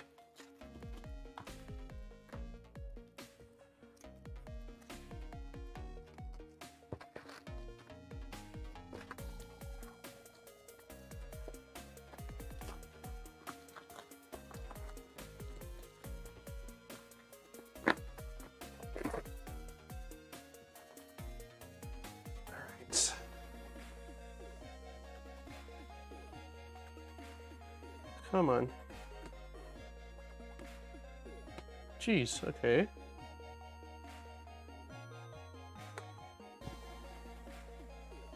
There we go.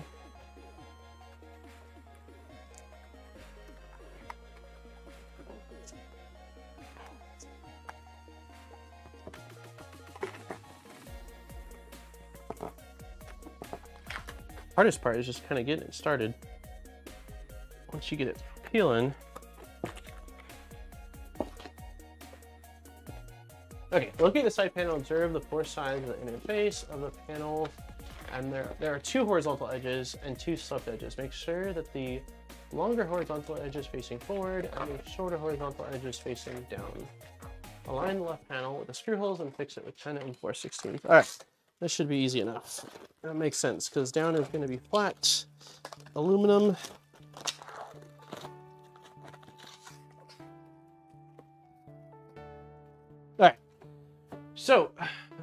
One, maybe we go from this side. All right, so confirming, we want the pocketed sides facing outward, then we want flat side facing forward and downward. What am I doing? Like this? Yeah, perfect. Okay, and then bolts are right here. There's a lot of screws. I almost wonder if this is a good a good time to bust out the old uh let's see if the wow stick has got juice. These screws, at least for the most part, don't have because we're not threading into plastic, there's not a whole lot of tension on them, and I think that we might be able to use the wow stick. Um,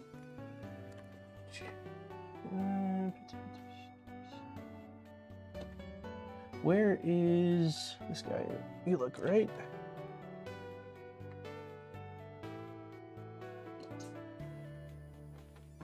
Okay, let's see if that'll work.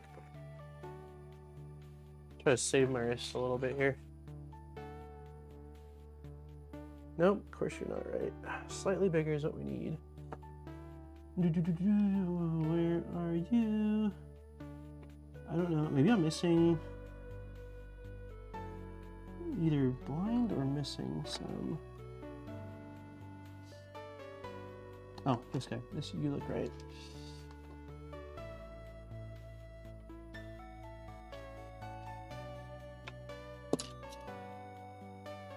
Yes. Okay, let's try it.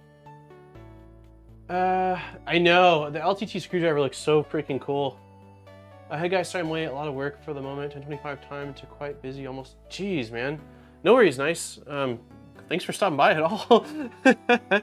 Sounds like you got a busy schedule. Okay, sweet. Yeah, we're gonna use this, and then I'll just go around and quickly tighten the ending. Nope. Oh, much wow wow stick. Alright, well, we'll do what we can with it. Ugh, I might have spoke too soon. It seemed like these were threading in pretty easy, but... Okay, some of them are.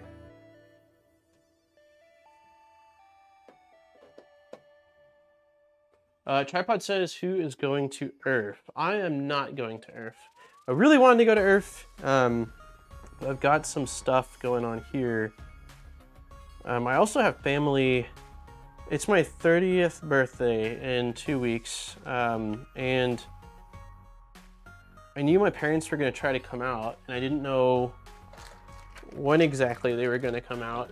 Um, and I'm still not sure if it collides. I don't think it collides with ERRF, but I didn't want to do any traveling, um, knowing that they were coming out.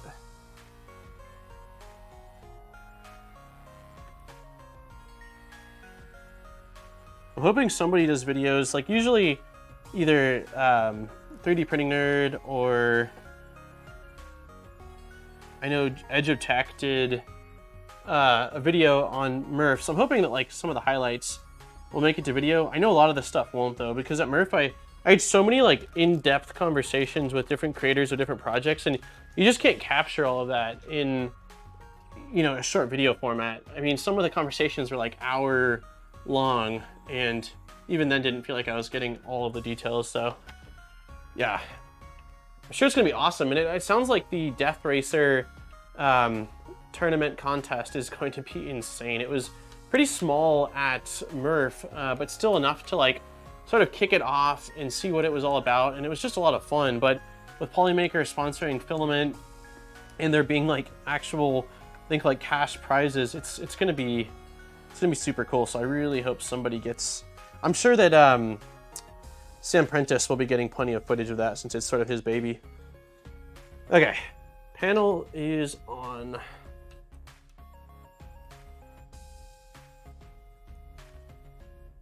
I have my Death Racer driving, working on the driver and broom. Oh, nice. Yeah, I'm really looking forward to seeing uh, seeing these. These RRFs would be fun to visit, but like you said, a wee bit far from Europe. Yeah, it's, it's, I mean, right now, well, I don't know what flights are looking like um, internationally, but I know flights have been crazy in terms of pricing and availability and complications with flying.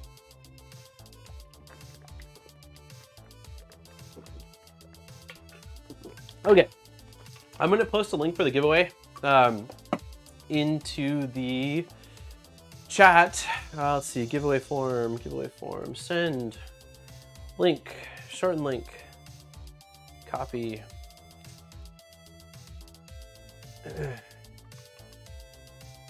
Thank you, uh, the reminder, nonstick. All right, giveaway link is pasted. In 30 minutes, we will draw a winner pin message.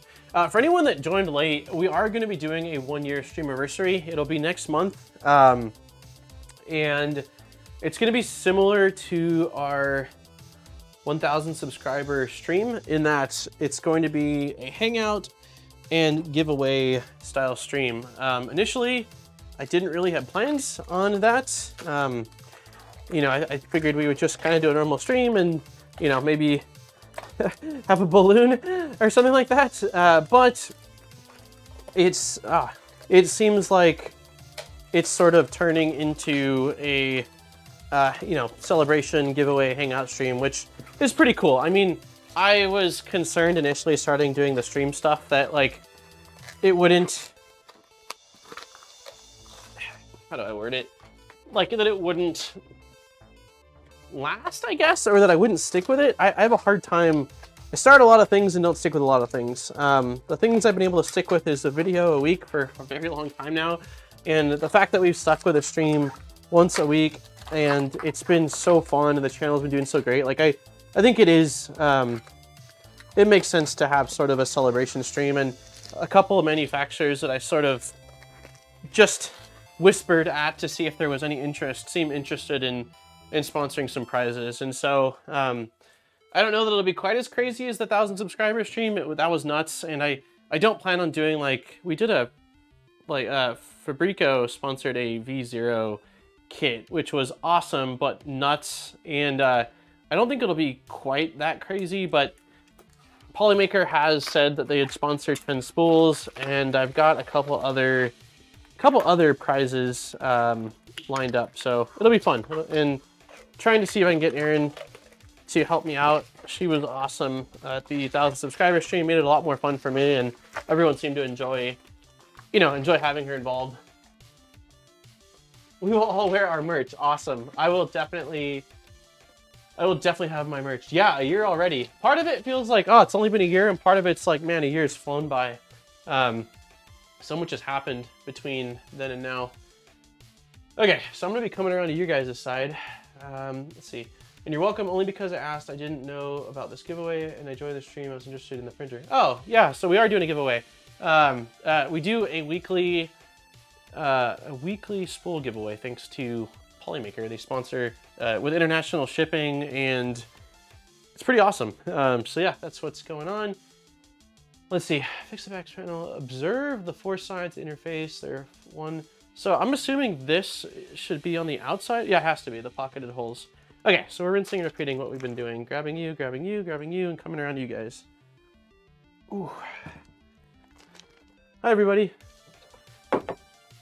I won't be able to see chat for a little bit here, and I apologize. Okay, so let's see if we can just line this up.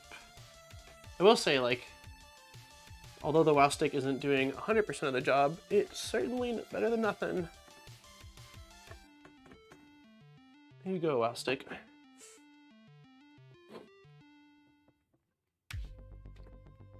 Alright. Nope, that's all we're doing? Okay, you can do it.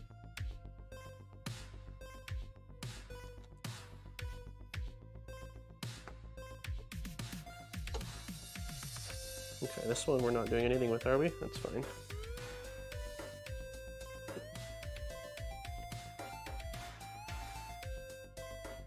Seems like some of the some of the threaded holes are a little bit smoother than others. The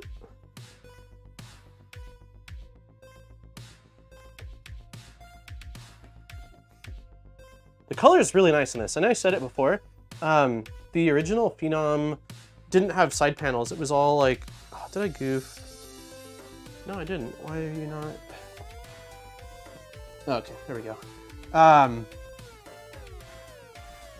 the original Phenom didn't have panels. It was like sort of one, one thing. Um, and it was sort of a textured black color, which was quite nice too. But I, I actually thought that this was going to be black panels, but this is really, really nice. It would look nice on a, it'd also look nice on like a Voron build or something like that.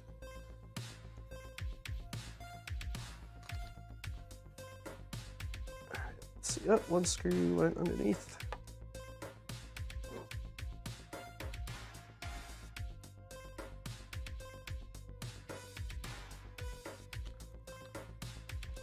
All right, I think one more screw on this side. We're getting there. Definitely the majority of the build is all Z panels. Um, let's see.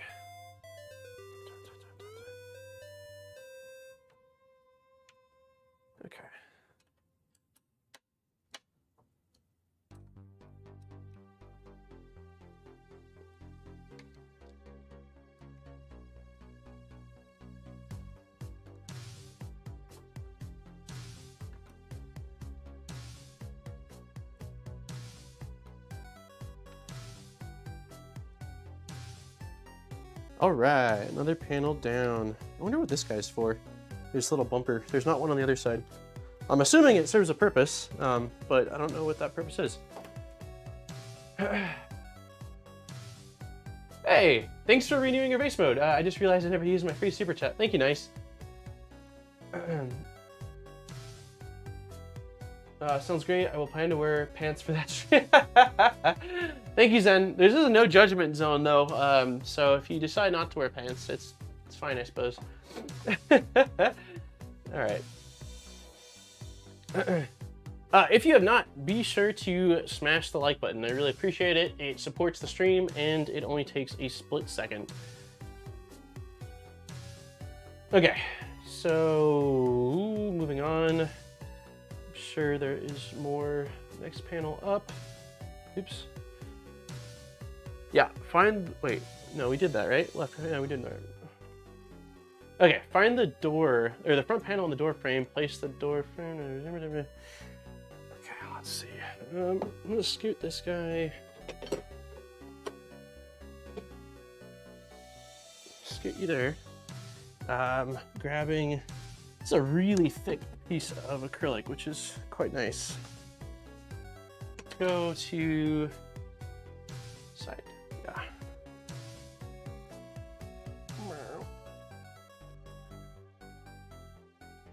Hopefully we can get kind of a focus. Okay, so let us, let us drop that piece.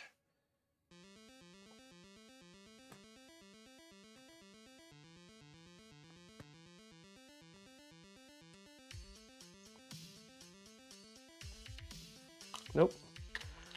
Nope. this is what I was, yeah, this is uh, the usual, usual acrylic tearing fun.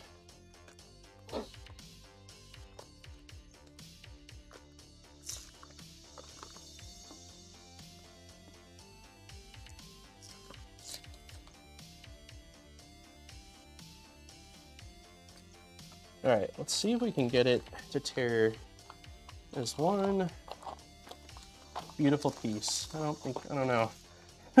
Not totally convinced in my acrylic tearing abilities.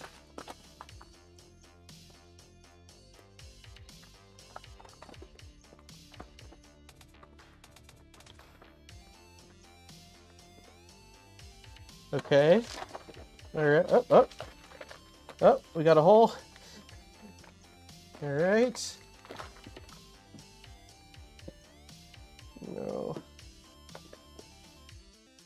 This side, is? Falling behind.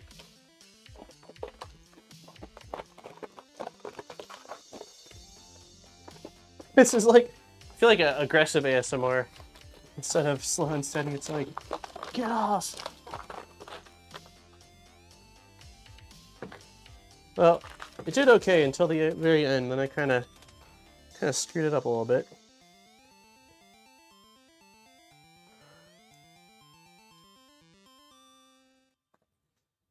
Okay, I'm wondering if we need to take it off both sides or if I can leave one side on right now to sort of protect it. hey, what's up, Maker? Uh, if you need extra room for the printers, you can always give them to me. I will pay for shipping and custom. I feel like shipping and custom on this printer probably will cost as much as it actually costs unless they tear it down. Okay. It says behind the front door panel, and then the door frame, place the door frame on the back and align. Nope, we need to tear it off both sides right away because we're gonna have bolts going through it. Hopefully there's not anything. Maybe I put foam down. Let's do that. I want to. I mean, I'm sure I'll scratch the acrylic eventually, but if we can avoid it for a little bit, let's let's do that.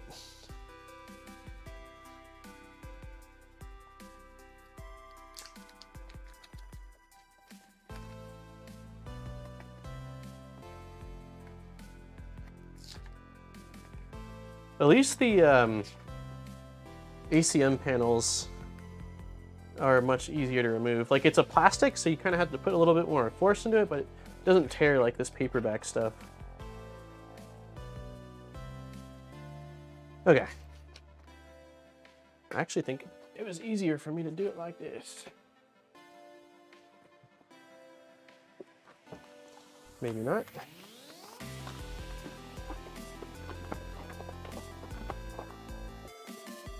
So pretty. it's so nice looking. Oh, we hit the hole and it threw us, it screwed us up.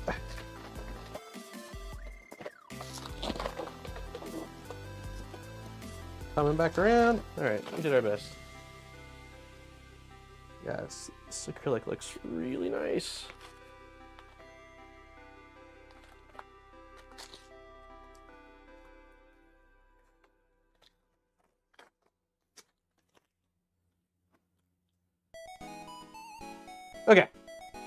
We did it! Yay! I drive the 400 miles to get it. ah. In green UTEC peel. Okay, so find the front door panel and the door frame. Place the door frame on the back of the front panel. Um, is there a, how, is there a back? I don't see, it's, it's gonna be the exact same, so, right? It looks the exact same. Holes look mirrored. Um, Okay, and it says, take the thing that we dropped. And, uh, see, note the right angle of the door frame is parallel to the edge of the front door panel. Okay. Uh, align the hinges with the screw holes on the front of... Okay, so, looks like this guy just sits on top like that. And Hinges also are part of the equation right now. And it looks like the hinges... oh, hinges have their own little baggies. Wait, no, I think I'm doing something wrong here. I have to be doing something wrong, this doesn't make any sense. Um... Oh wait, no, I'm not doing something wrong. All right, let's look at this for a second here. This looks right, right? So the lip is facing towards the outward, uh, outside, which seems correct. Align the hinges with the screw holes on the front of the door panel. Okay, so we want them on the underside, basically. And the direction looks like...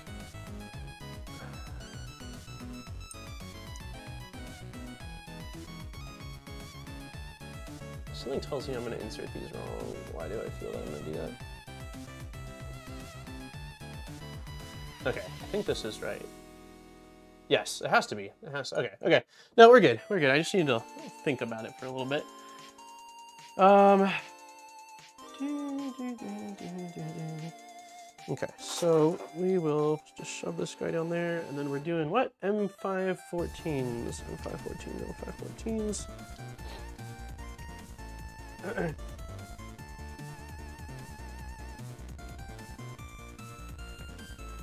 Alright, going back to side cam. Let's find the right driver for this. You are the chosen one.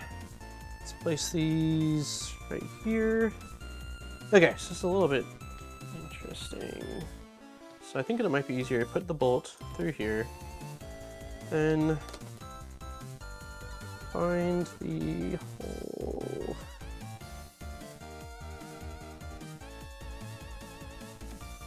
Okay, I'm not really worried about aligning anything right now. I just, I also don't want to scratch the acrylic.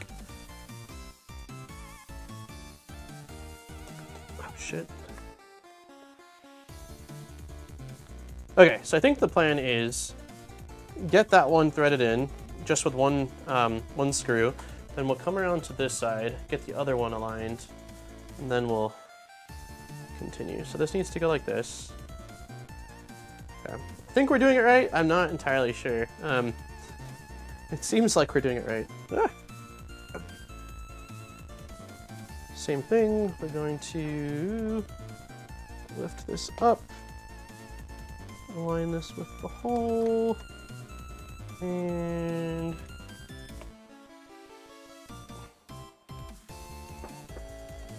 shit, I think I dropped some stuff. Why are you not? There we go. Okay. Okay, now that we have those two, I should be able to flip this entire thing over. Yeah, we definitely dropped both screws, which is awesome. Um, okay, flip this around like this. It should be easier to just sort of line these up, and then we can focus on it. All right, we've got one screw. Where did the second bolt bounce? Did it not bounce? No, it did. Oh, there it is. Thank you. Luckily, these are large enough that the carpet won't eat them. Uh, next time we use a 400 millimeter V-core 3.1 fully enclosed with X-axis. Oh my god. that sounds aggressive, but awesome. Um, if you're enclosing it, then I'm assuming, are you gonna print the parts in ABS sign and not go with the um, standard PETG?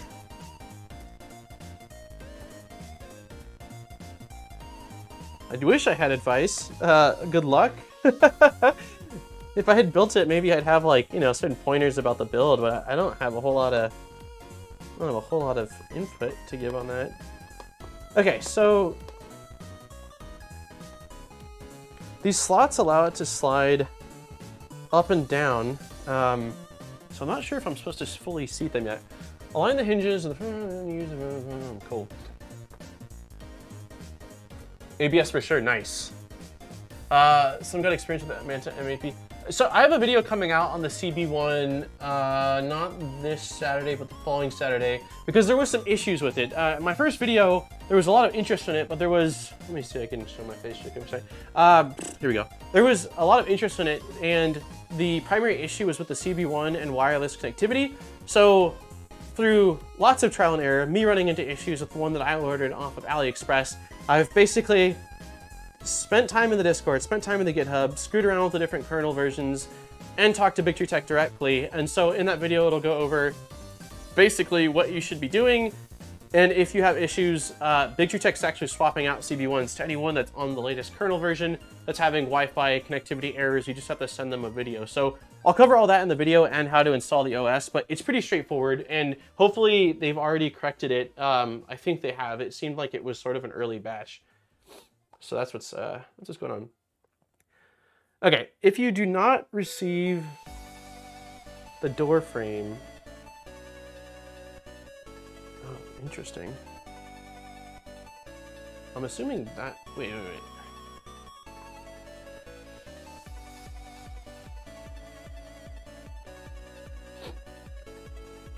Okay, so we did panels. Uh, find the front door panel. Okay, door frame. So we do have the door frame. We're not worried about that. Um, use the door handle to align the screw holes on the front. Did we get the door handle? We did. Okay, use the door handle to align the screw holes on the front of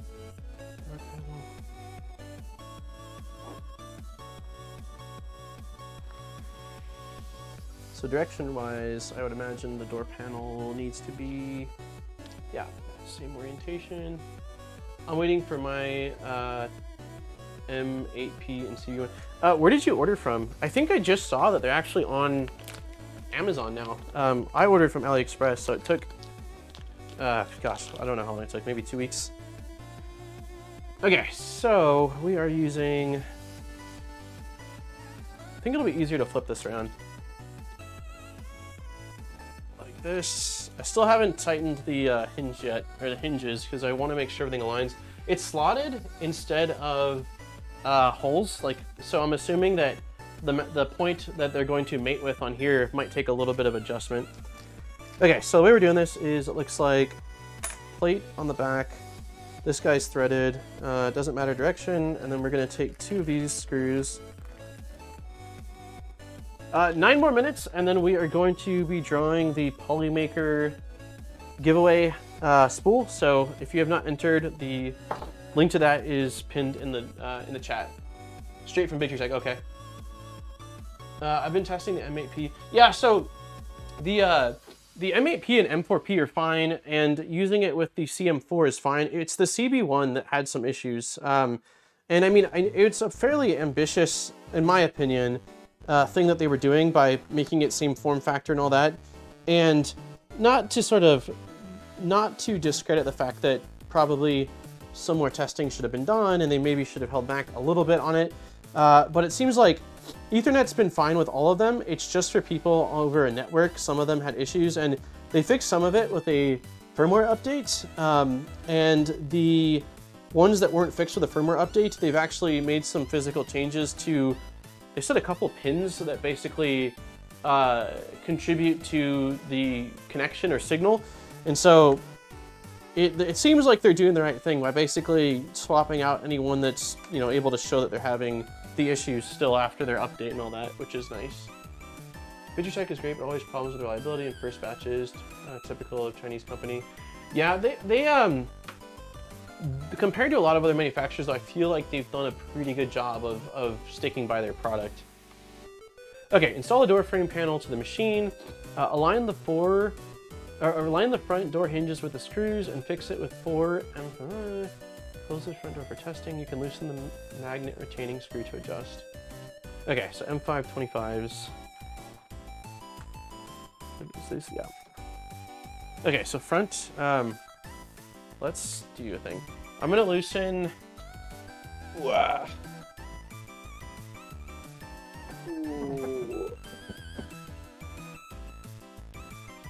All right, let's go front cam.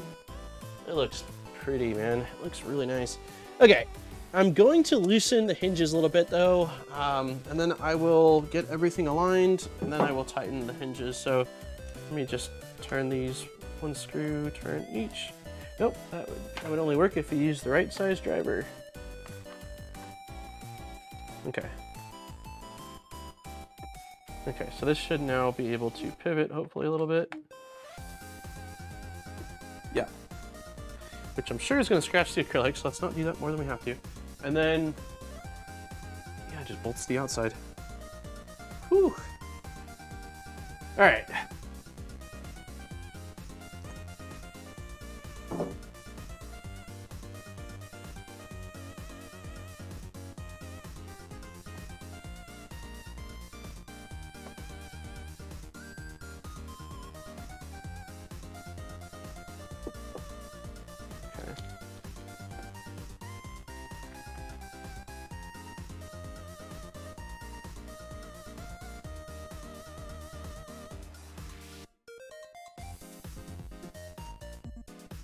Guy.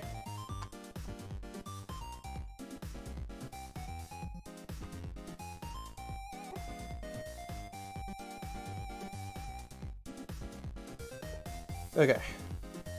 That seems at least good enough right this second. I'm gonna take this foam out at this point. at least for put it on top so this can close.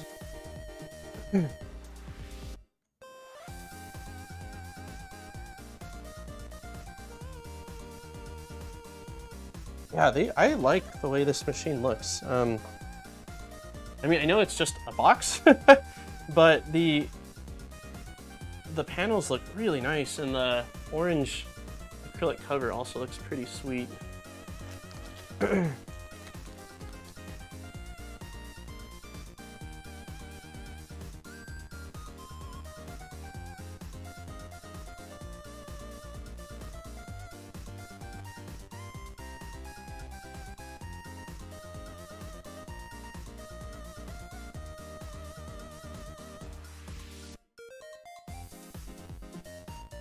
Okay, so I think on these hinges,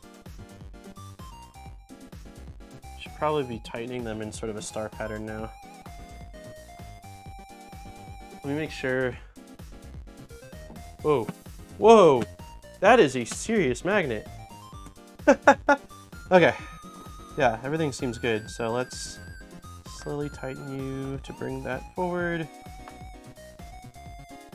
I think this is a better way to do it. Then the instructions kind of just make it seem like you should tighten the hinge the whole way. Um, but I think that putting it on and then aligning it seems like a good option. Although it seems like it goes down a hair. Um, uh, could just be the way the panel looks. Yeah, I think we're fine. Well, it seems like it'd be easy enough to adjust later if needed.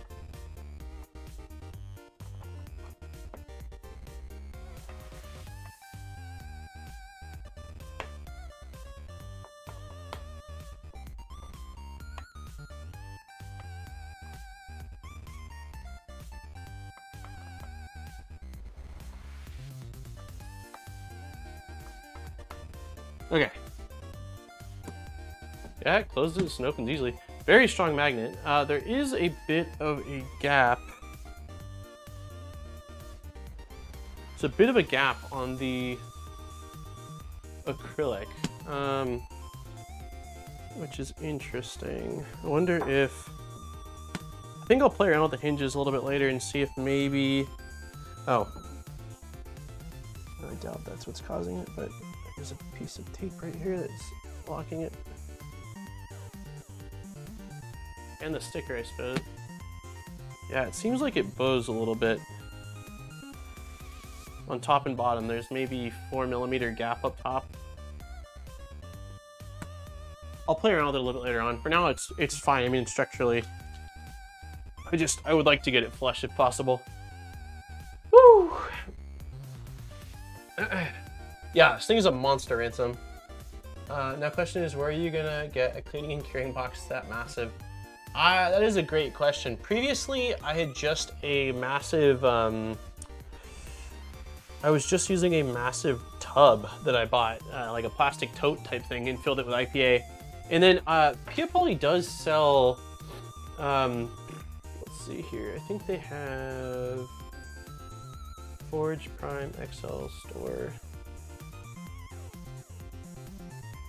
Huh, I thought they had a Resin Phenom Series, Resin, Moai, Moai Accessories.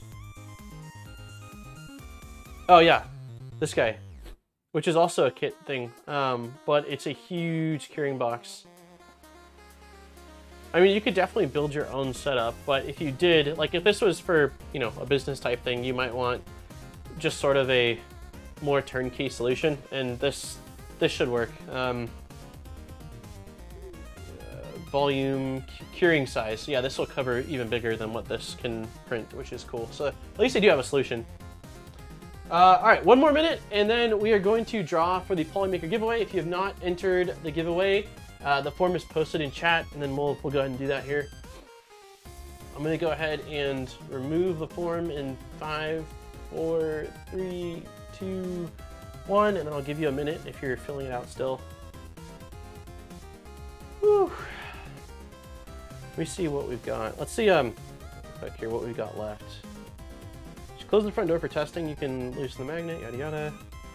Uh, open the back covers. Now we're gonna attach the motor, install the VAT, leveling and build plate. All right, we're basically there, which is awesome. Uh, I do have the back panel, which I probably should install shortly here. But yeah, we're getting very close to printing on this. Okay, let's go to me so I can really quickly grab these. We have got 59 entries today. 60 entries today. Somebody got in right in the right in the nick of time. Okay. Let's see. Wheel of names. Bam. Let's delete last week's. So six less than last week. So you have a slightly better odd. Slightly better odds. All right, here's what we've got. Let me go ahead and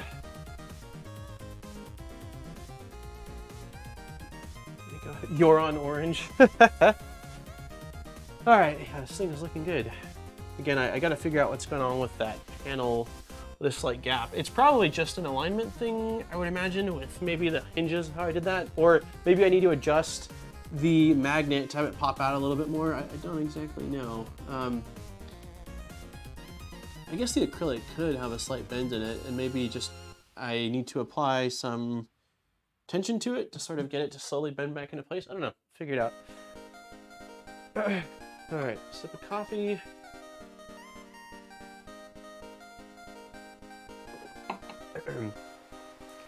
sip of water. I, I just realized you can kind of see me in orange from behind here. Can I pop it out? There we go. Anyways, all right, let's do this. Uh, as always, massive thank you to Polymaker for supporting the stream, supporting the content. They allow us to do a weekly giveaway uh, and basically, you know, all the shipping and all the logistics behind it. The rules of the road are um, that winner can choose their spool and color of any PLA, ASA, PETG, and ABS, as long as it's not like a exotic filament, uh, for example, like a carbon fiber. Um, and I will contact you by end of day via email or Discord, depending on if I know you on Discord, I'll just message you there. If I don't, then I'll typically just shoot an email with the form and you will fill out the form with what you want, where it's shipping to, and then Polymaker's little uh, uh, filament elves will, at the factory, get the spool to you. So massive thank you to Polymaker. And uh, again, if you want to support the channel and support uh, Polymaker, let them know that we're sending some people their way. There is a link in the description where you can do so. All right, on that note, let's go ahead and shuffle, shuffle, shuffle. And good luck. Good luck to everybody. Three, two, one, and here we go.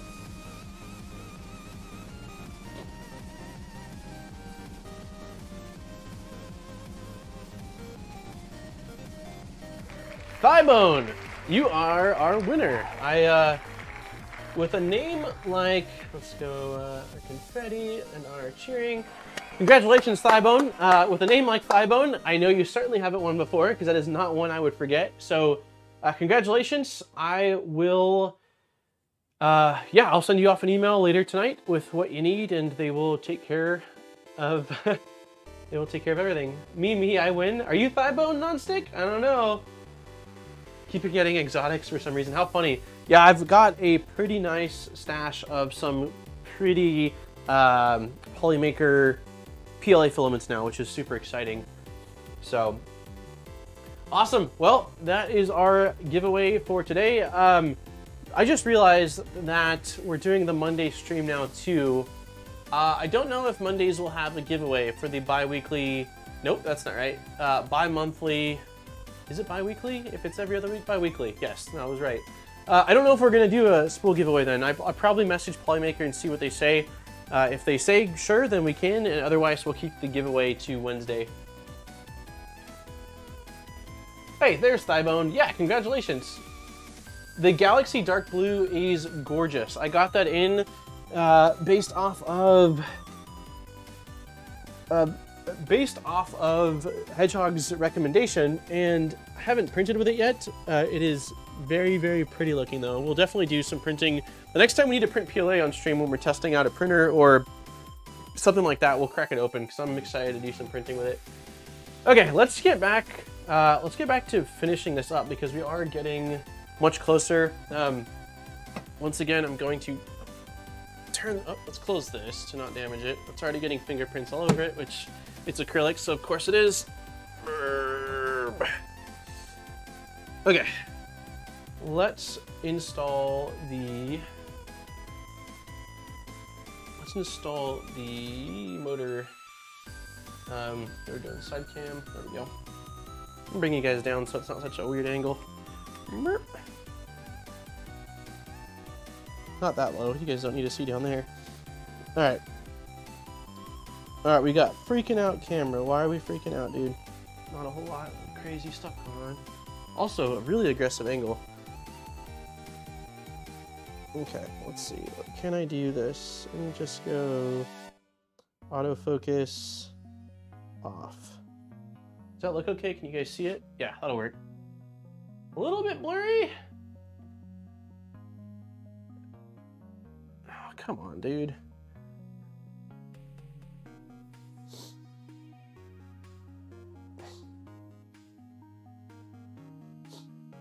All right, let's go back to auto for a second.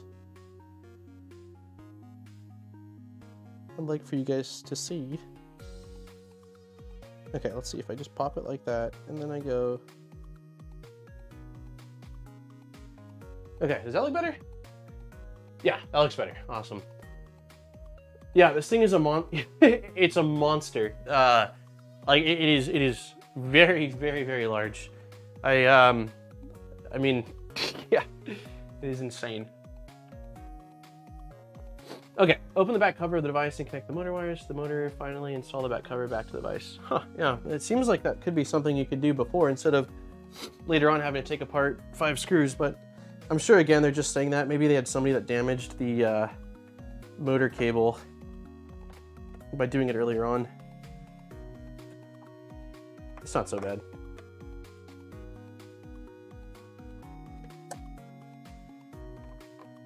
Also, this is, well, it depends on how everything else is, but on the previous Phenom, you had to flip it on its head to access anything, which was not ideal considering how heavy it was. I'm curious to see if they figured out a better way. Oh yeah, this is so much nicer. Oh man, um, it's hard to like really, the, the board previously was mounted like on this wall, so you had to flip the machine over to access it, while this is uh, substantially better. Looks like massive, are those MOSFETs? Massive MOSFETs with really large heat sinks. Um, looks like that's our, yeah, wireless connectivity right there. Um, what else do we have down here? Let me see. All right, let me get this connected. Um, let me go on this side so it's not upside down for me. It's kind of awkward actually, this little connector. Um, Guess if you grab it from the end, it's probably okay, maybe. There we go. Okay, stepper motor's in. But yeah, this is so much nicer for servicing. Um, the previous one on the bottom and just flipping the printer on its head was like, you had to have a lot of space to be able to do it. And it's also really heavy, so it's awkward. While this is just five bolts and you have full access to everything. So I am a big fan of the design differences they went with on this. Okay, let's flip this guy. Wait, yeah.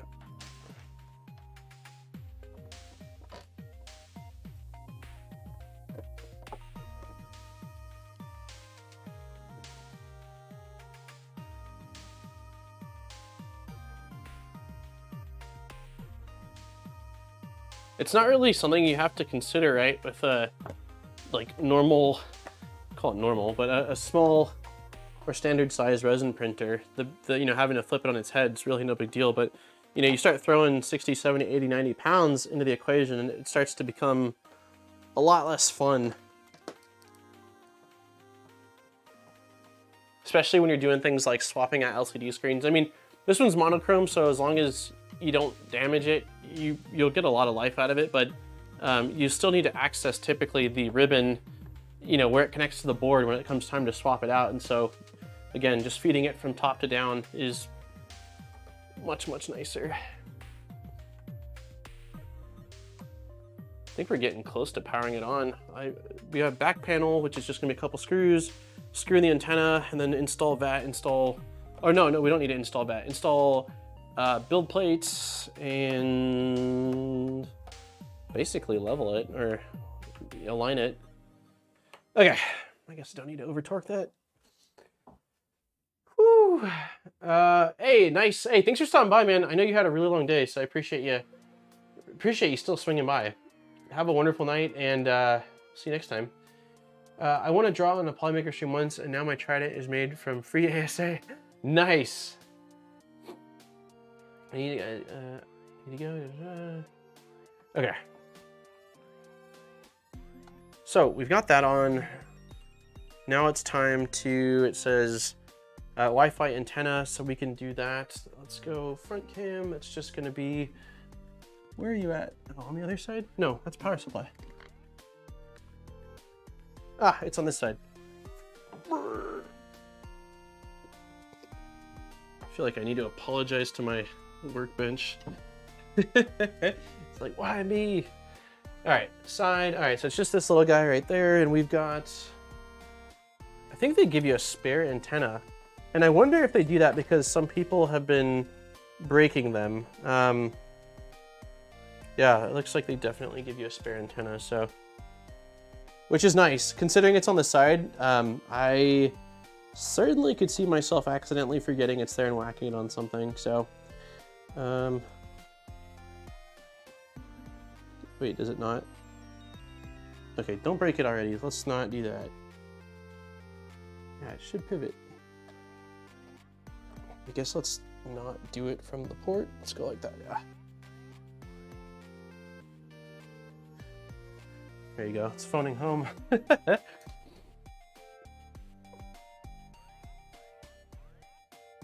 uh, the speed of the Forge with the Nexa 3D PP405 Black is insane fast. Huh, let me copy that resin name and paste it so I've got it. So I'm gonna have to order some more resin for it. I've got like one kilogram of, or liter, I think it's kilogram, of the Elegoo standard resin, but I don't have a ton of resin right now.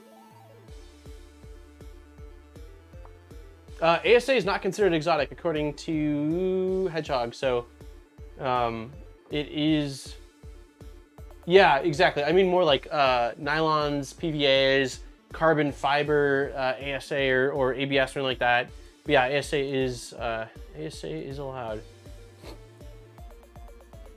Okay, install VAT screws and Wi-Fi fittings.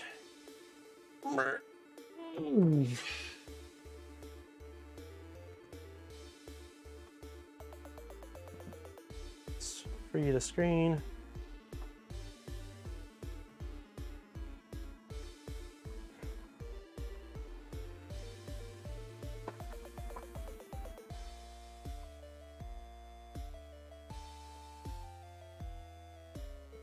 Feel like I shouldn't have destroyed that because that would have been would have been a really good leveling paper.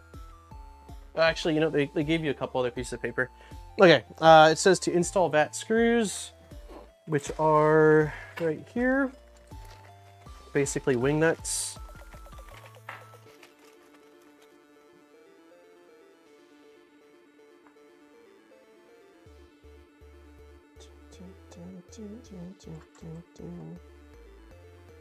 Loosely thread these guys in.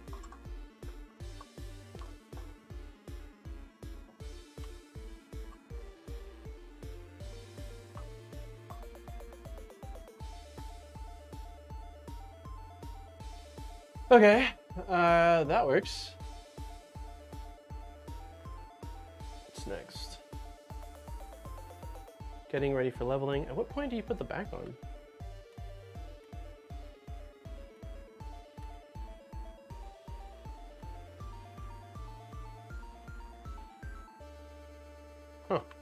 They just completely forego putting the back panel on.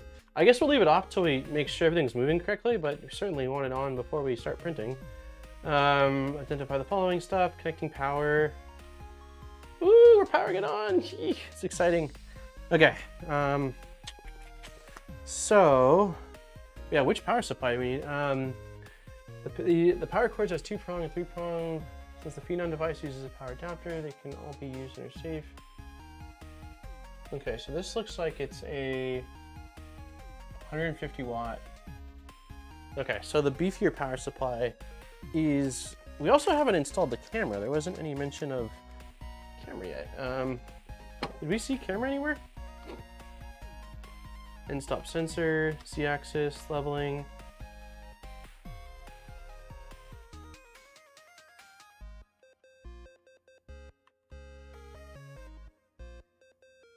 Huh, okay. We'll just go in order. Sorry, this is a lot of flashing going on here. Okay, so let's grab you. And it seems like it's the 24 volts, 7.5 amp beefy power supply that is the, uh, is the one for the actual printer's power.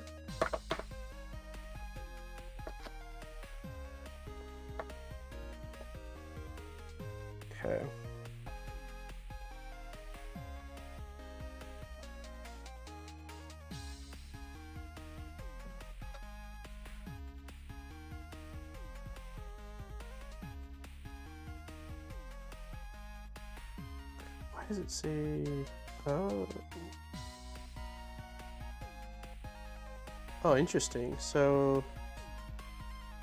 you, am I? No, you guys can't see this. Interesting. I gotta play around with the manual focus on this. It seems like it's kind of cool, but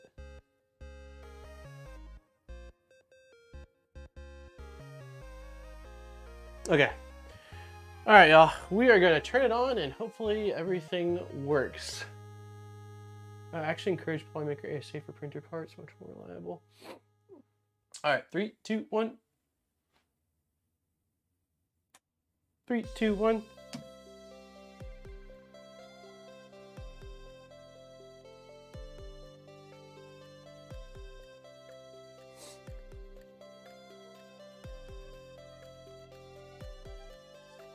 It's kind of a soft screen.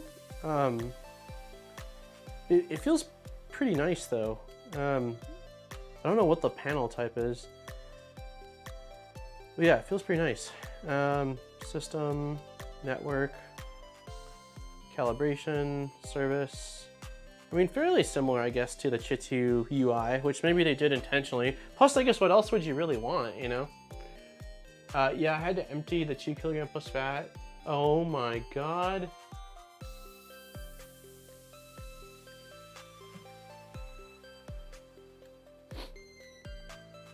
Yeah, it's insane. Okay, so power's on. We did that. Power on the porch. You should see the screen. Yes, we do. Test the LCD screen and the power adapter. All right, we'll do a panel test really quick here. Whole room's gonna light up purple. Okay, system. Nope. Tool. Panel test. 15 seconds. Well, that looks good to me. Looks like a rectangle. I don't see any dead any dead LEDs in the LED array, so we'll turn that off.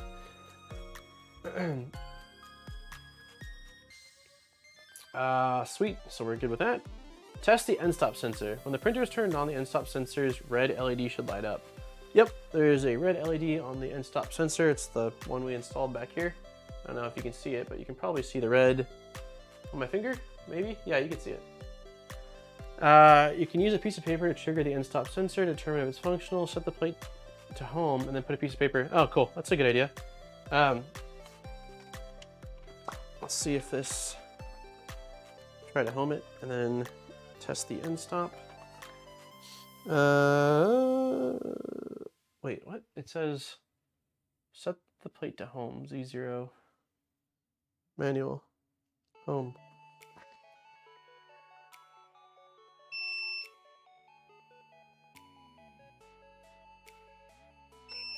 Yep, that works. Yay! Not really a huge fan of the beep, but I guess it's good to know that like as a that it's working correctly.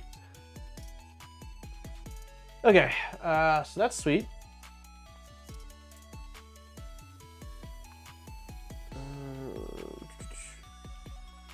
Check whether the Z-axis motor is running normally, tool manual, move up and down. Okay, I mean, I, we can pretty well assume that it's moving correctly based off of what it just did a second ago, but we'll still focus on that. Then we'll go 10 millimeters up. Pretty damn quiet motion. Also, how um, the Phenom was incredibly loud. Like the original Phenom, I mean, was almost like a small aircraft taking off. So I wonder I didn't actually pay attention when we turned the screen on. Was it crazy loud or no? Let's see.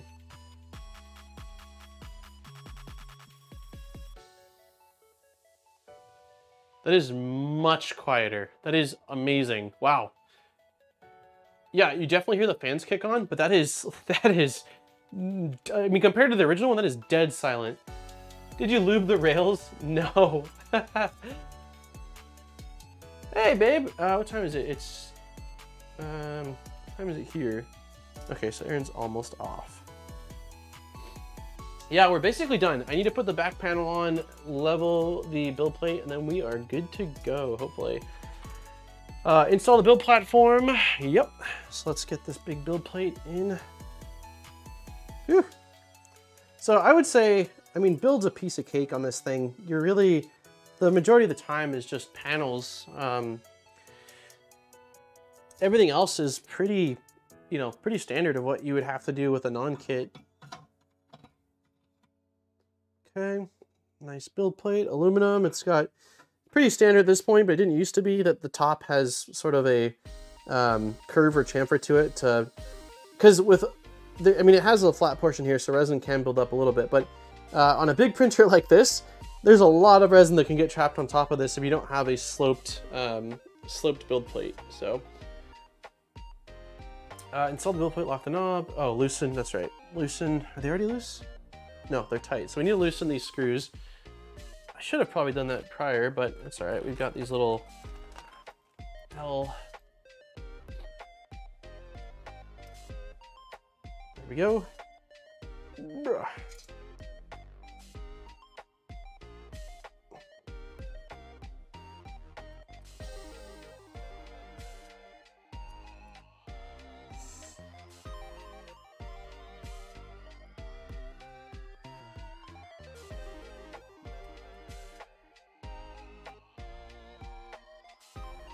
Definitely want these very loose because when it hits the LCD screen, you want it to like instantly not put pressure on it. And so if they're not very loose, you risk damaging it. Oh, you know what?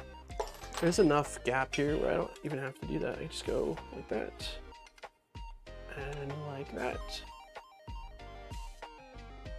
Okay, so now that is nice and loose, which is also awesome. This style build plate, we've got a pretty good uh, amount of sort of up and down room.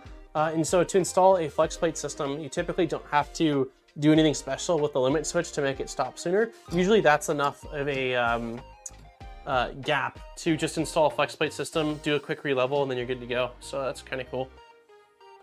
Hey, what's up, Pushing Plastics? Or Pushing Plastic, singular?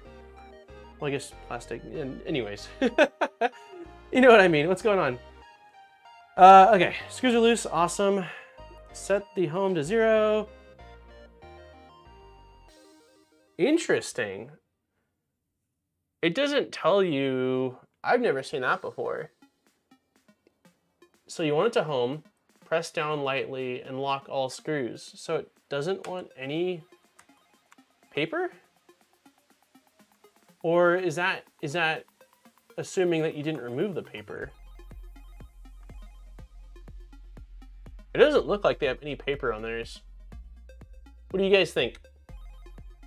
I've never, uh, I've never done that on a resin printer before without some form of paper down. I'm wondering if because of the size, you just don't want any gap at all because you need your parts to stick like extra uh, since there's potentially a lot more weight involved. Yeah, I have a flex plate uh, that shipped out um, shipped out I think a couple days ago from Wham Bam, so hopefully we'll get that installed quickly. If it was here now, I would have already done it. Uh, wrapping up work, didn't realize you were streaming. Yeah, we stream uh, same time every week. Wednesday at, or Wednesdays at noon Pacific Standard Time is when we start. It's usually anywhere between two to four-ish hours, I would say. Um, we are starting a Monday stream as well. Uh, it'll be bi-weekly, but it'll be much later. It'll be at uh, 6 p.m. my time, so 5 p.m. Pacific Standard Time. Uh, because there's just so many projects we're working on, we need to stream another day.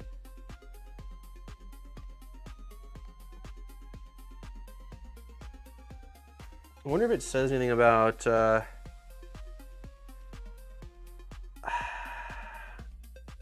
It's so weird to me that there's no mention. I guess we can do it without... I guess we can do without the paper. I feel like they would have to mention the paper, right? Like, why would there not be any mention of paper?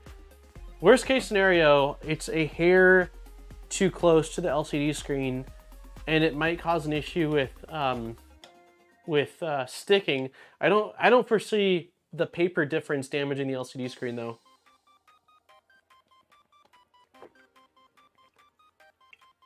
So we're just gonna do it. So we will set these, nope.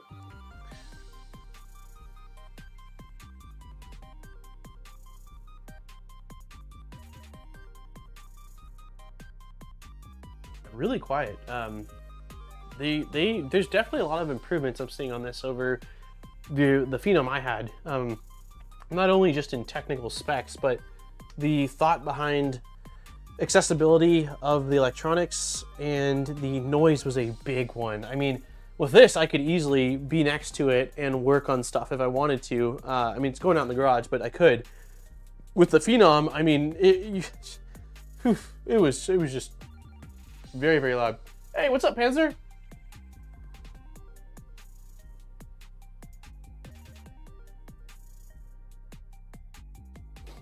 Uh, normally working Wednesday, never realized when you streamed.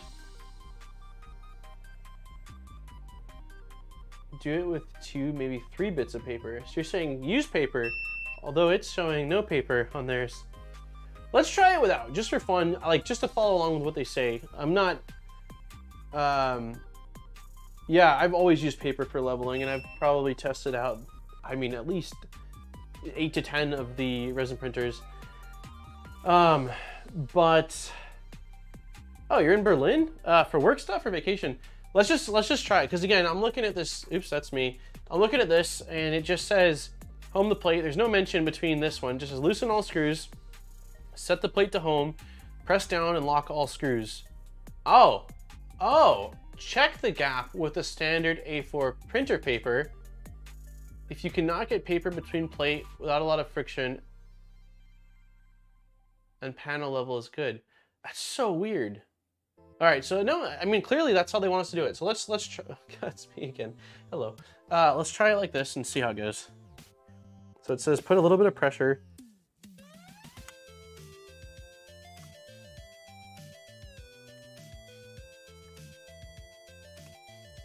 I'm definitely not like aggressively putting pressure. I'm just lightly putting some downward force to make sure it doesn't shift around.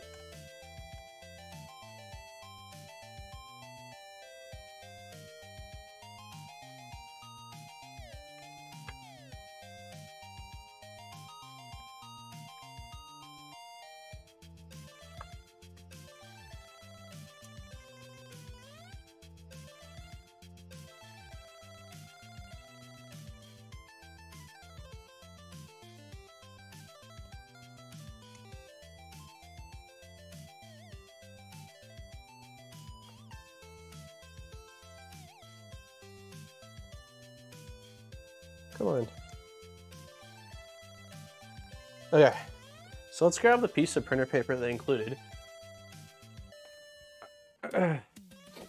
uh, most frozen printers are factory set. Oh, that's that's nice. Uh, I think it was on a gesture we could show an alternative leveling method. How much is a new screen? That's a great question. Um, two ninety nine. So you know, an Ender three and a half. that is the that is the answer.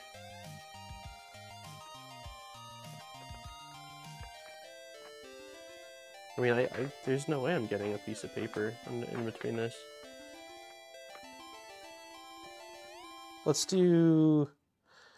Um, I'm just curious to see how this feels if I go now without it.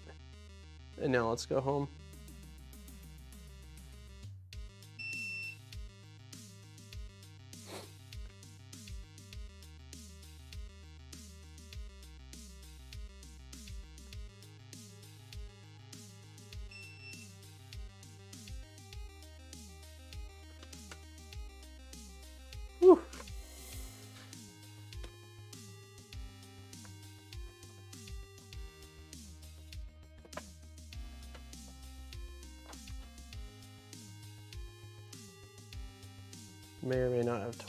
Piece of the paper.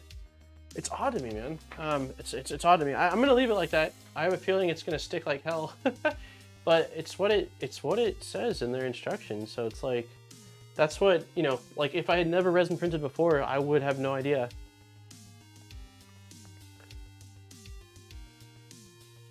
If you cannot get paper between plate without a lot of friction, I mean, I can't get it between the plate period, so. All right, we'll try it. Uh, work stuff conference going home tomorrow. Oh, nice. Any downtime out there to like have some fun and check out, uh, you know, check some areas out? All right, we're doing it. Uh, when there is no gap. Wait, what?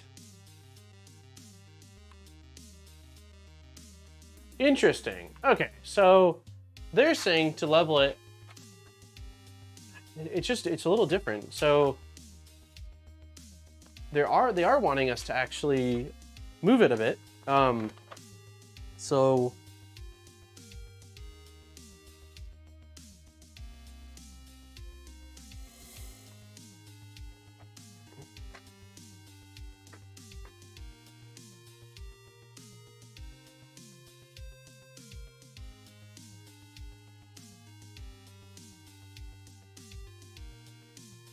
Delilah, you're not being a good girl.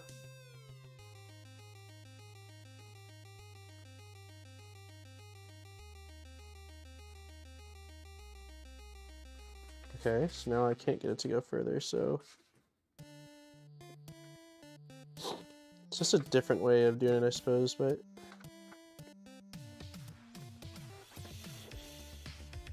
So I think that we basically, like, that seems probably better to me. Um, let's see if I go down one more, which is probably how it is. I don't think I can get it under there. Period. Yeah, and then if we lift it up one, I can kind of get it under with like, you know, quite a bit of friction. That seems right. We'll do that. All right, so it seems like 0.1 um, is about the gap that we want. So set up success confirm. All right, just a different way of doing it. Hey, what's up, printing stain? Stein, stain, Stein. what's going on, man? Uh, yep, we walked around Berlin yesterday, looking at the memorials from the war. Yeah, well, at least you get uh, a little bit of downtime. And I always, I mean, I haven't traveled for work in quite some time, but it's always fun uh, checking out some of the local restaurants and uh, you know food and drinks and stuff like that. Okay, we are getting so close. Cleaning LCD screen, cleaning LCD screen inside of Forge is most Propol to ensure the surface is clean. It's recommended not to use glass cleaner. Okay, we have that. Inspecting that, installing that, testing print, test print. Okay, so here's what we're gonna do. Uh, since the camera seems like it's a later thing, if like an optional later thing, uh, I'm gonna hold off on the camera. Um, we're going to just install the back on this. Um, install the back, throw that in, put some resin in, and fire up the test print. So that way we can do um, do a test print. I just turned it off, that's fine. Unplug. And then if there is enough interest, we can do another stream. Um, maybe we'll do just like a short print and chill stream or something like that where we can do a deeper dive. Or again, uh, I'm gonna be doing a full video after I've had quite a bit of time playing around with it. But I do think it would be nice to get a print going um, and make sure that it's functioning. You know, we'll, we'll get it a couple layers in, then pause it,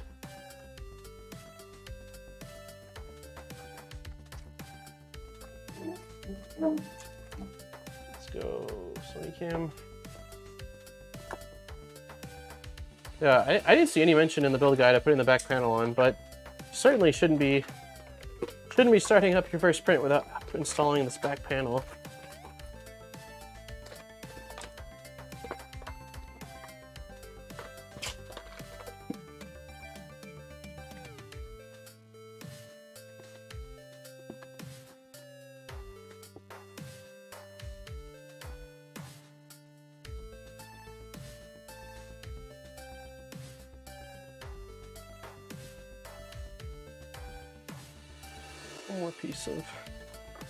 More piece of cover, and then we are we are gonna install this.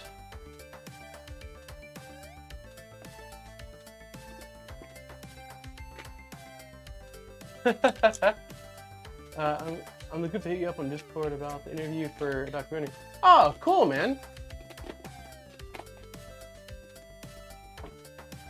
What was the, uh, what's the current time frame you're thinking of on that? Just so I have a general idea. October or November? I mean, it shouldn't be hard to, uh, it shouldn't be hard for me to, you know, get a window of time where we can hop on a call and go through things, but just so I have a general idea of like things happening.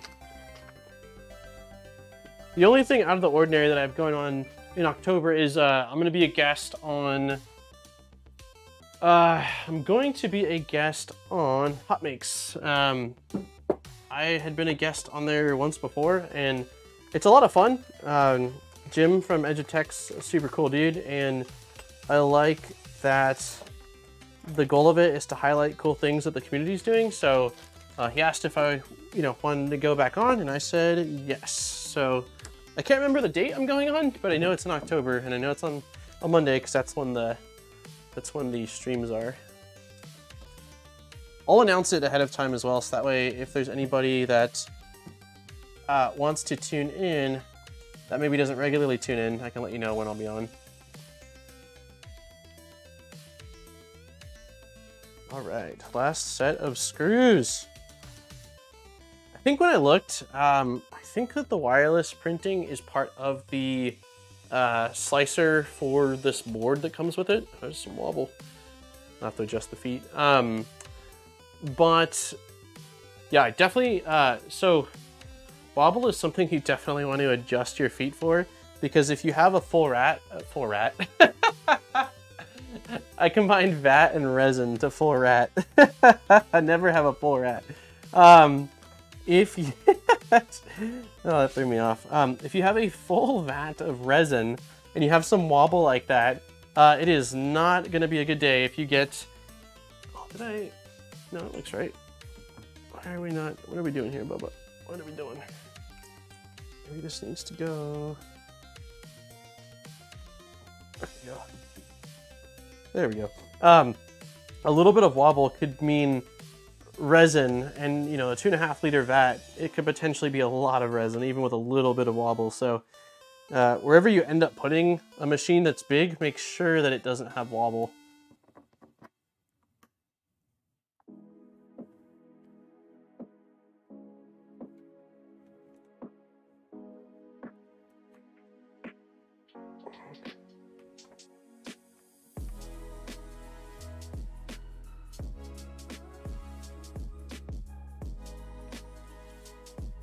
heard my stomach growling.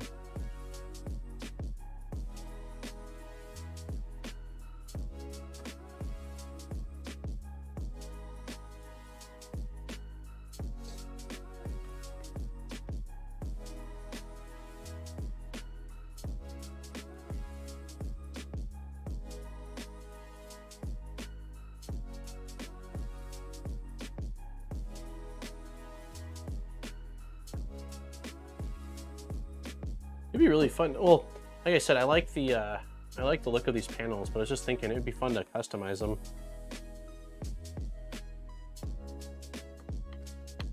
I'd be scared too because I don't want to like laser engrave them or something like that, and then have it screw up the panel. Um, but if you had good settings for these, like ACM, uh, you could do some pretty cool designs on the side. Okay.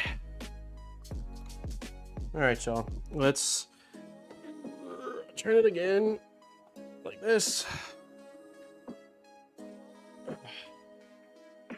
Ooh, hey, what's up, Dutch? Uh, around October for interview, looking at finishing up by February. Okay, sounds good. Yeah, I think uh, I'm not going to ERRF, so I'll be around. The only things I've gone on is again uh, the edge of, or the hot makes stream, which you know it's just one day. Um, and uh, my parents are coming out to visit the first week. But other than that, yeah, it shouldn't be an issue for me. It's not as big as I thought it would be. oh, jeez. Yeah, and make sure it's level two. I should probably get the bubble level. I think we're good for this first go. Um, but yeah, when it when I get this thing out into the garage where it's going to live, I'm going to get a bubble level and check all of the things one more time to make sure everything looks good. So it looks like, yeah, it wants us to clean the LCD screen, inspect the vat, install the vat. Cool. Let's do these last things. Oh, you will be at ERRF. And yeah, I'm, I'm sad I, I, can't, I just can't go. Um, But I hope everyone has an awesome time. It's to be so fun. Okay. Um, I'm gonna grab a. I'm gonna grab two things. I'm gonna grab a clean rag because the microfiber I have in here I use for cleaning all sorts of stuff, so there's probably already dirt on it. And then me grab a bottle of. Uh, I have like Elegoo standard resin in the garage. Hi, Delilah. Okay. Uh, Microfiber.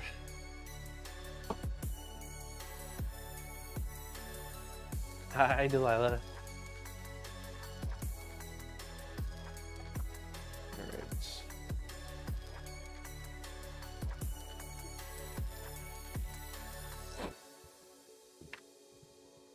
Alright, secured the package.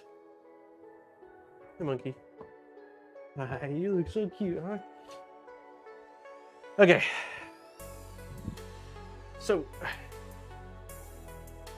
yeah. Whew. All right, let's go. Tools, manual. Let's get you up there.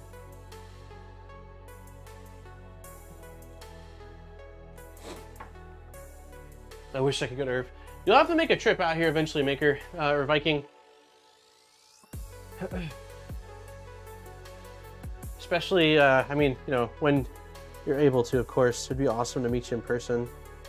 Yeah, I think that uh, the price on this right now is 1300 which I also agree uh, is substantially less than I thought it was going to run. The original Phenom was like $2,000 and it didn't have nearly as much um, it didn't have nearly as much going on. It so it looks like you can't just keep tapping. You have to wait for it to hit where it's going, then tap. Or give it a second. Can I hold it? Nope. Hmm, not my favorite. It'd be okay, I think, if it had like a 50 mil, but the fact you have to like wait.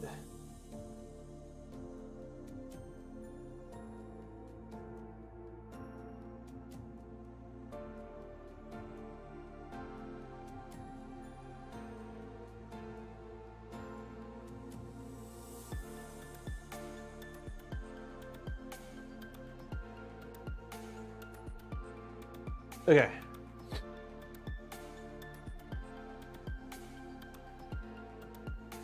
Uh, looks really good. Say hi to the puppies. I'm gonna take mom to for checkup. Have a great week. Okay, Lisa. Uh, hey, thanks for hanging out. I hope you're able to get, um, you know, things figured out with the Saturn. And like I said, when I'm done gathering the rest of the footage I need for it, if you need me to take mine apart to get some footage of, uh, of the inside board for you, I can definitely do that. Uh, and we are gonna stream Monday, um, so if you're around, definitely drop by. Um, I should have that scheduled by Saturday latest, but hopefully sooner. And it should be a laser stream, so it should be fun. All right, cleaned that off so there's no shipping dust or debris. I'll leave out the sidewalls for the time being, otherwise you will get no trouble if you want to put the forge down or put it somewhere else. Oh, you mean for moving it? I think it'll be okay. Um, I mean, it's heavy, but I think it's I think it's lighter than the Phenom, uh, the original Phenom I had. And uh, we also have a furniture dolly. So realistically, I could just get it from here to ground and furniture dolly it out to the garage and it should be fine. Um, but yeah, that is definitely something to consider. It's not as easy to move. Um, it's not as easy to move. So yeah, we're definitely going to leave the, um, we're going to leave the, how does this work? There is a USB. Okay, so power supply goes directly into this. I'm just looking at this. Um, this is the heater. I'm not going to use the heater right now, but so it's got on off switch and then it's got USB. Um, so I wonder if you can control it with the USB or how that works. I believe the camera, um, does the camera have a full size? Yeah, so camera has a full size USB port. Um, and there's a USB-C cable right here, which the camera also has. So I'm a little bit interested in how that all is going to work. Um, Yeah, I'll, I'll definitely set the camera up a little bit later on, and of course I'll cover that later on. Uh, does it have covers for the extrusion ends? It does not have covers for the extrusion ends. I don't think you can have covers on the extrusion ends actually. Um, because it sits flush, I don't think it would work. It would protrude a bit. Yeah, I gotta figure out why there's this gap here. Um, I could probably install some sort of a magnet on the top and bottom to help as well. Um, but anyways, we'll, we'll figure that out later. Ooh, that is, that is so close. Okay, let's get the vat installed. Um, that is right here. Big old vat. Definitely not going to pour a full vat because um, I'm going to run the test print and then it's going to get moved. So we'll we'll make sure it's got at least some resin in there, but uh, it doesn't seem to have markings to show how much resin you have, which a little bit of a bummer. Um, I really like that uh, when printers have that. So, uh, and then I also don't know which side's the front. So there's a USB. Oh, okay. So USB, I'm silly. USB plugs into this, of course. So that way it transfers, it heats up the vat. So this has to be the front, right? Um, e,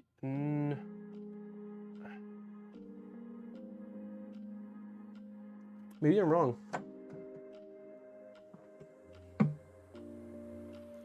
Maybe this is the front.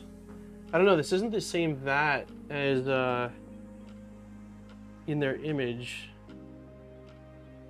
But yeah, it looks like, okay. So it looks like where it says Peopoly um, is going to be the front going based off their image. So we're going to roll with that. Um, and then it goes and stops and hits back.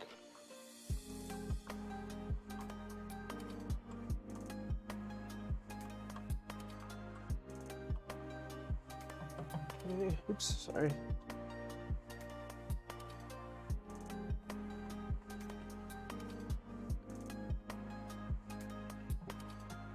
All right.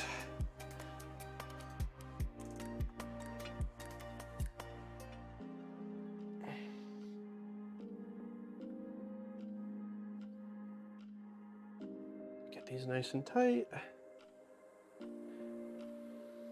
All right, opening up the resin. Um, yeah, it's cool it comes with the camera. I don't think the camera works with the slicing software. I think it's like a third-party uh, software let me see here. Print process, print completion. Um, I'm excited for Wi-Fi. It's just gonna be nice. Yeah, so there's a separate guide for the Wi-Fi camera.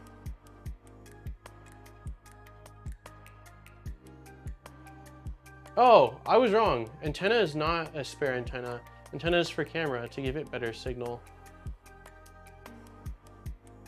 Okay, so yeah, it uses a different software. Um, this is what's used with the uh, Fiberpunk Node uh, software, or Fiberpunk Node. Well, I'll cover that in the video. It's too much, too much right now. But yeah, uh, pour 250 millimeters of water in the vat and see where your max line is. what do you mean?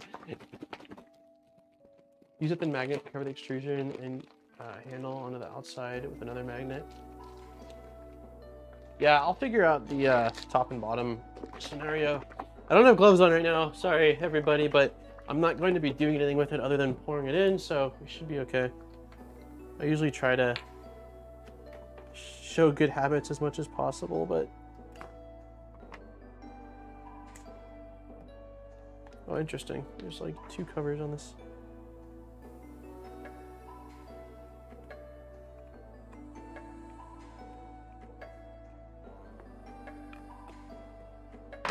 I almost wish I did have uh, gloves on because I'm gonna have to tear the lid off. Let me see, I think they included some some kind of glove. Maybe they're just plastic gloves, like... Remind me of, like, lunch lady gloves. Yeah, they basically included lunch lady gloves.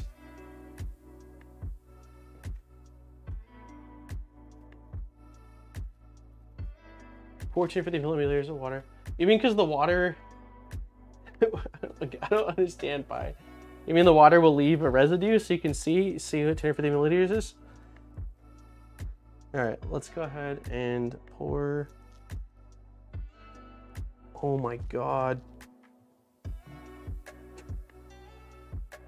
That is insane. I, I think I poured like half the bottle in and I don't even know if we're gonna cover the bottom.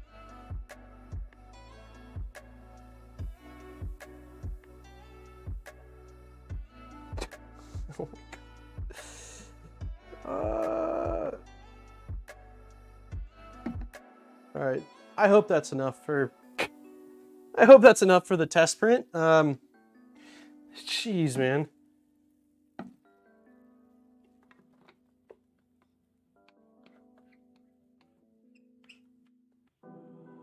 All right. So game plan is going to be then when we move this out to the garage that I take the vat out uh, and deal with that separately. Okay, um, let me grab a napkin really quick here. Got some spare napkins. Wipe down, keep it pretty. I should have left my glove on, but what are you gonna do? Okay, all right. So now, now we print. Ooh. All right, flash drive is going into the printer. Um, no, it's not.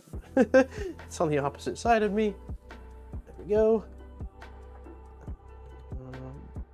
Bam. Okay.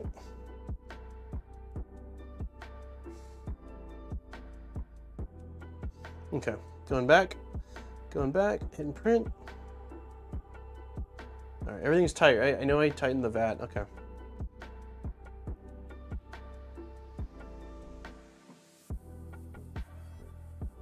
Wait, what?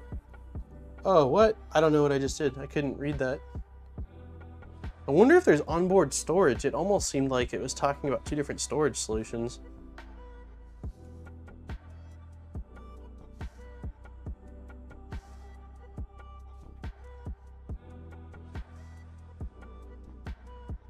While we're waiting for the first couple layers to make sure that it's actually sticking, let's download the slicer and take a look at that. I'm kind of interested.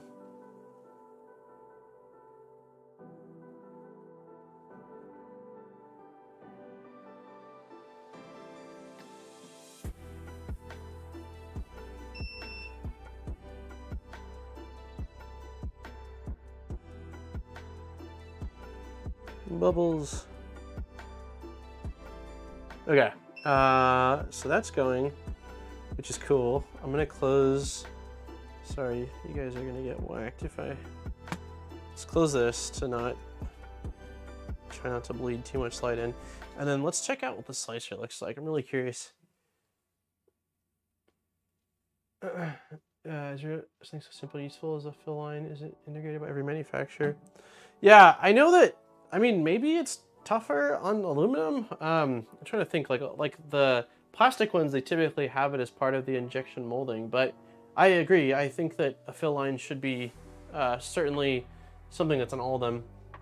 The vat is huge. Like that, I think I probably put half of a one kilogram bottle in there and it's like barely anything. Um, I'm gonna have to start buying resin by the gallon. Okay, so the slicer, let's take a look at that for a minute. Um, firmware upgrade, uh, test pre-slice, forge Wi-Fi, resin, resin, air slicer. All right, you know the Vera, which is compatible with the Phenom Forge here. So they've got a Mac and Windows version.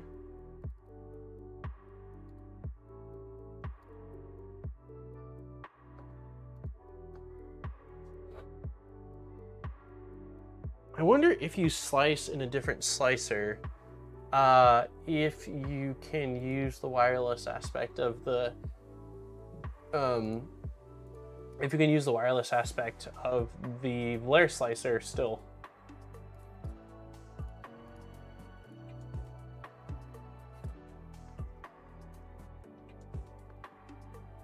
Because we just updated Chitu for the D2 like last week. Um, And I'm curious, is the, oh man, let's close out of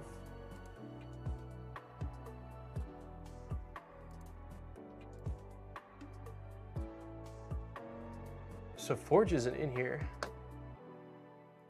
So I wonder if it's compatible with other slicers like I thought. Um, we also updated uh, Lychee. I just want to see if it's in any other slicers. Oh wait, current version is not the latest. Do we want the latest? I'm wondering if the latest version works for the Phenom. I mean the uh, Prime. Okay, let's do a couple things here. Lychee slicer, please open. I hear it peeling, so that's a good sign. Maybe if we keep making a big deal of such a small thing, they will finally catch on. Maybe. Maybe they will. It would be nice to know, especially on such a big printer, since there's not like an automatic fill, um, to make sure that you're at least filling it to the maximum if you're planning on printing large. I don't know why Lychee's not opening. Um, it's very odd to me. Um,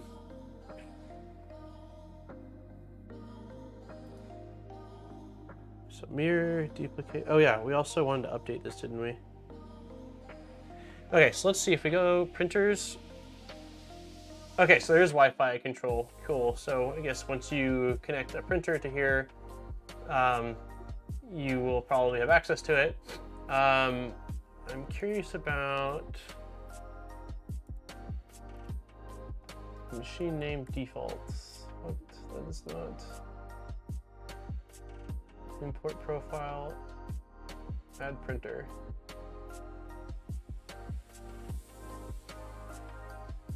So this is six inch. It's interesting. Um,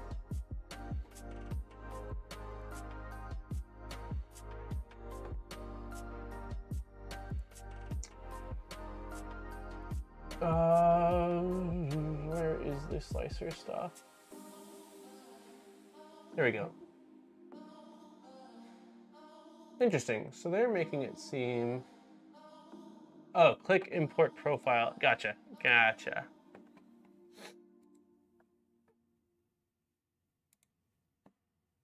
All right. So now we'll go import profile, downloads, Forge, open, Now we got the forge, and now we've got some of the resin. So Deft is like a standard resin. Uh, then we've got tough nylon. Blue is also their tough resin. okay, gotcha. Profiles in the USB stick. I probably should have plugged that in and grabbed some files beforehand, but at least they're um, at least they are on here, um, which is nice. Yeah, I'll play around. I mean, the slicer, the interface looks nice. Um, I wonder if they have, I mean, I don't dislike the color. Oh, what did I do?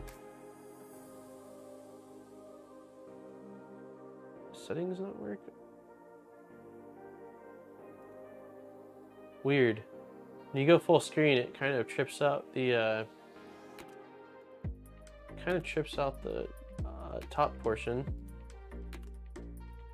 Okay, let's just go here. So settings, shadow, platform, language, I don't know what that is, visual quality, model size, light mask calibration, I don't know what that means. Model reflected view. Okay. Uh, let's let's import a model. Um, let's go to printables and see. Not a Voron cube, sorry Voron. I, mean, I guess it doesn't really matter, we're just wanting to... Hey, zombie, I know that guy. Uh, 3D models, let's do something from art and design. Um, let's do like this dragon skull.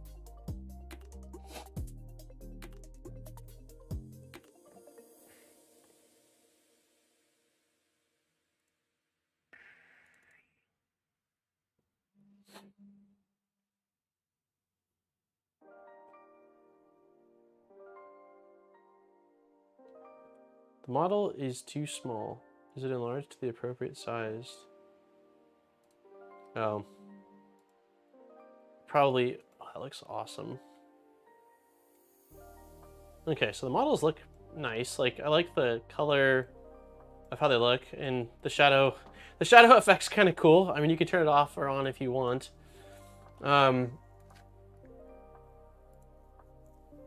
so you can mirror, maybe. I mean, this is a pretty big part. It's already mirrored, so I don't think we'd be able to see any difference. Uh, duplicate. Cool, that works quickly. On plate, I'm assuming just make sure it's actually on the plate. Split. The current model has no, the current platform has no selected model. Whoa, what am I doing? Wait, split. Does it mean, okay, there we go. So I think you have to select the model. You guys can't see it. There's a uh, file list over here and you have to actually click the checkbox. I, it seems, um, yeah, full screen trips out. It's kind of annoying that it does that. Um, it could be, I'll have to try on a different monitor to see if it's just a resolution thing, but so split.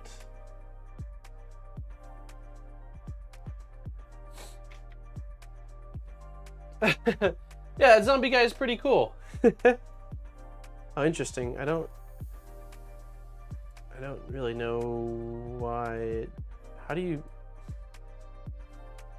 Split seems like it duplicated it. If we get another one, I'm, it seems like Split is just duplicating. So I don't know if... Perhaps I don't know what I'm doing. We'll, we'll put that on the side for now hollow. Uh, so we can do inner, outer, wall thickness, precision, lattice enabled, honeycomb enabled. Cool. Um, I guess we'll we'll try that. Let's do like a, I don't know, thick three millimeter wall.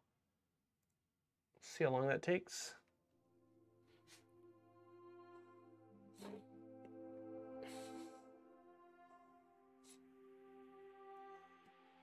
I mean, this is a fairly you know, a fairly complex model. Granted, a lot of resin prints are using fairly complex models, but I'm also curious, I have no idea what the actual uh, printing profile is on this. So let's see, one, two, three, it seems like two to three seconds per layer.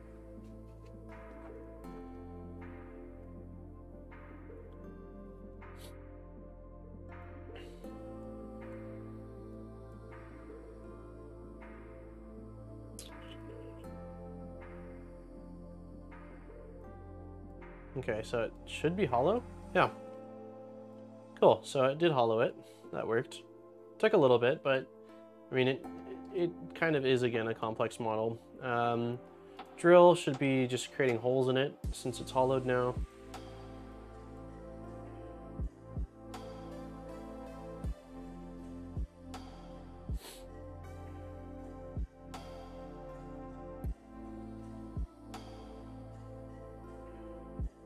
Oh my god, Vlare Slicer?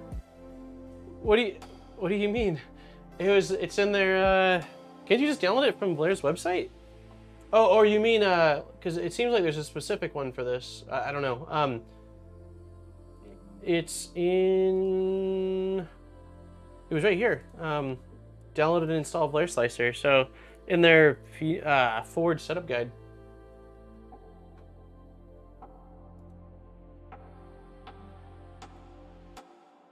Okay, cool. So it seems like you've got square, circle, octagon for drilling holes, which is nice.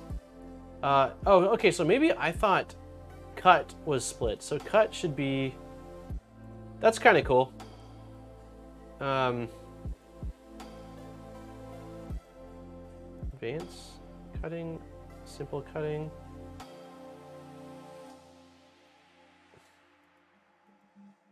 I don't, I don't really, how is this working? Oh, okay. So how much you want. So you can chop up. I don't know how, I don't know how it's deciding. Oh, interesting. Okay, so cut via plane.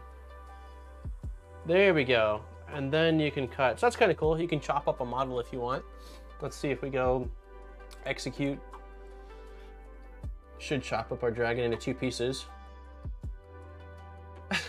I couldn't tell if you were uh, if you were joking, Nonstick. You seemed so excited, but I'm glad to help. That's awesome. If you've been looking for it.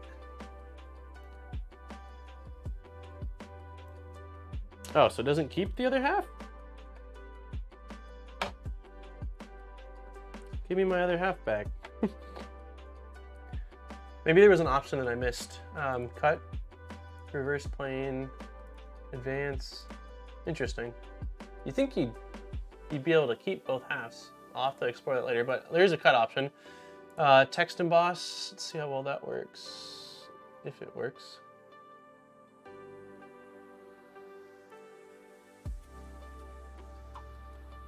Um,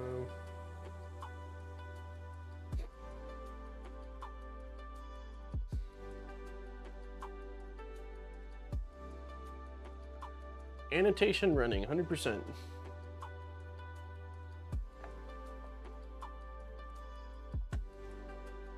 Okay, so you type it in here. Um, let's do undo the one that we did. Well, I guess it's okay, we'll leave it right now. Modbot, uh, you choose depth, concave, or convex, and you can change, oh cool, so you just change the size from here and it grows. That's kind of neat. Simple way to add text.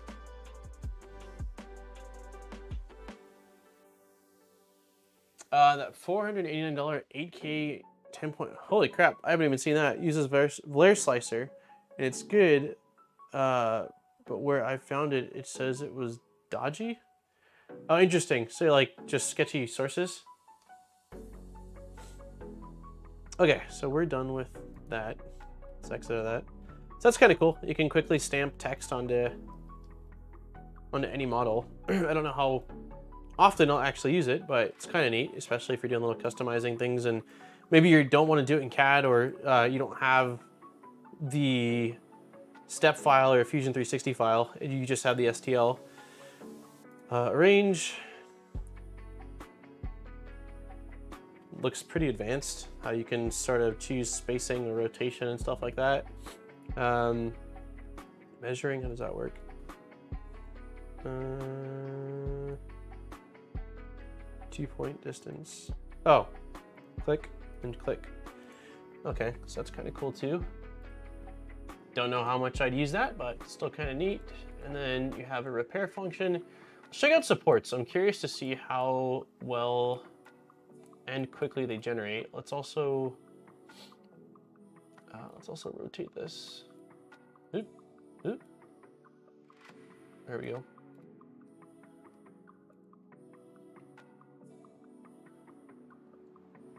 Uh, do you do you have a resin printer zombie right now? Oh, some crowdy thing. Okay, support settings. There's simple, which gives you very little. Advanced and expert, which is a ton. Um, automatic supports. So let's just try platform and see what happens. Wait, how do you platform add delete? I don't does anybody see a generate button?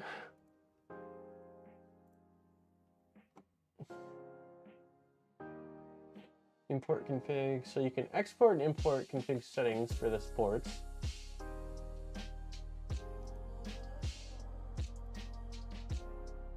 Oh, here we go. All right, let's let it do its thing.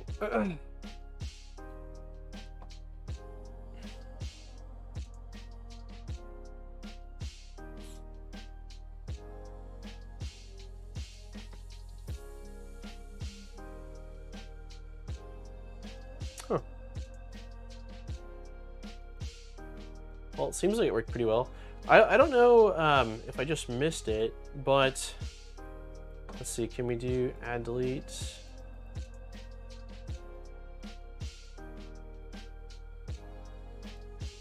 Okay, so if you click on it, it deletes it, and if you click on the part, it'll add it.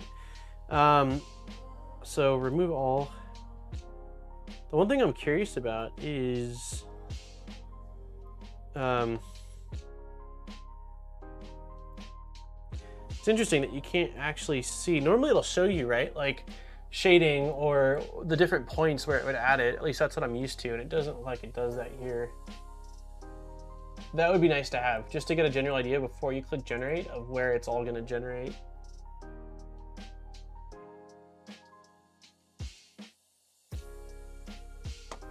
Okay, let's um let's take a look at whether it's working correctly or not. We're at 69 likes. Uh, if you have not, please hit the like button. Okay, so let's go ahead and open this up.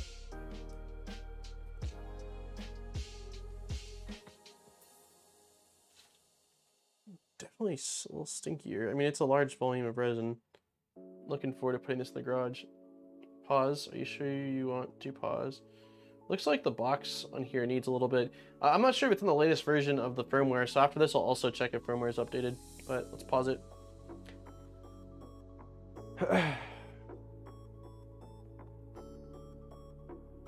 gotcha. Yeah, I, I resin printed inside for the majority of my resin printing, um, but I definitely like I had it in the uh, closet in one of my places, and am looking forward to having it in the garage. Just more venting options. I can open the garage if I'm out there while it's all printing. Okay, so it looks like it's sticking. Uh, it doesn't go higher than that. It doesn't look like, unless I can do a uh, settings things. No, I cannot. Well, that's cool though. You can see that the bottom exposure is 25 seconds, normal is two seconds. It's kind of neat. It looks like it's sticking though. Um, hi, hon. Um, I think what we'll do is once it's done, I will uh, take a photo, of course, and then post it. It looks like we've got an hour and 43 minutes left, which is quite a while. Um, so probably, I think we've been streaming for a little over three hours. So we'll probably call it in a moment here.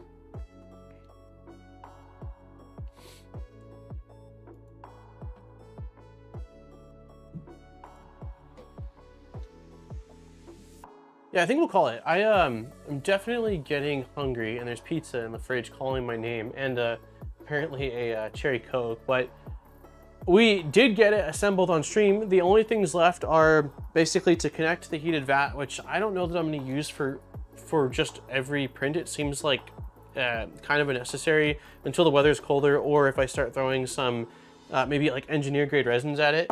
And then the camera, I'm definitely curious about setting up and the wireless printing. So that way I can be in here and if it doesn't show progress in the slicer, which I'd imagine it will, but like just being able to check in on it will be kind of cool. And we could even check in on it on stream probably while it's out printing just to see how the prints are looking on there. So uh, too much resin on the top of the plate. Is there a lot of resin that was on the plate?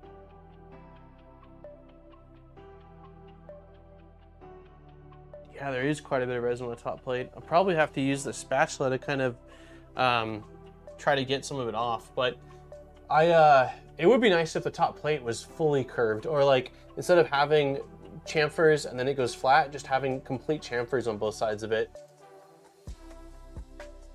That's why I started with the bigger resin to justify the cleanup and all that. Uh, I got an email for my first sponsorship from PCBWay. Nice! Congratulations, that's awesome. Uh, resin gives me a pretty bad headache and dizziness if I don't wear a good enough mask. Oh, wow. Yeah, it doesn't do that to me, but everyone has their own le levels of sensitivity. I have had it once or twice where after printing a bunch of ABS, I'm like, ah, I feel kind of funky. This isn't probably, this isn't probably a great idea.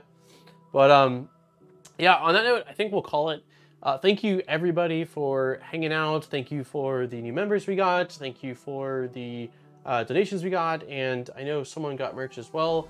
Uh, but yeah, everyone just hanging out and hopefully uh, you have a much better idea of the build process, which is honestly really simple. It's, it's, it was, the majority of it was attaching the extrusions, which you didn't, they were already pretty much assembled, the side left and right frame uh, and then all the panels. And then after that, it's sort of just standard stuff. It took a while because one, I was talking, we were streaming, and there is a lot of bolts. Each panel has, you know, two, four, six, eight screws. So 8, 16, 24, 32 uh, plus plus a bit more. So, um, but I don't think it's that bad, and I definitely think that anybody that resin prints, closing our, I'm gonna be right out. I definitely think that anyone that resin prints um, should uh, have no issues, you know, kind of putting this thing together. But uh, on that note, I am going to end the stream. We will be streaming on Monday, and it, it, seems like we'll probably be playing around with a CO2 laser, which should be a ton of fun.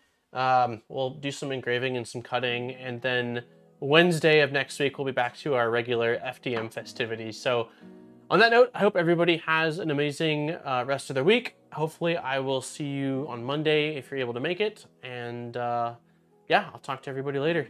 Have a great night, everybody, or day.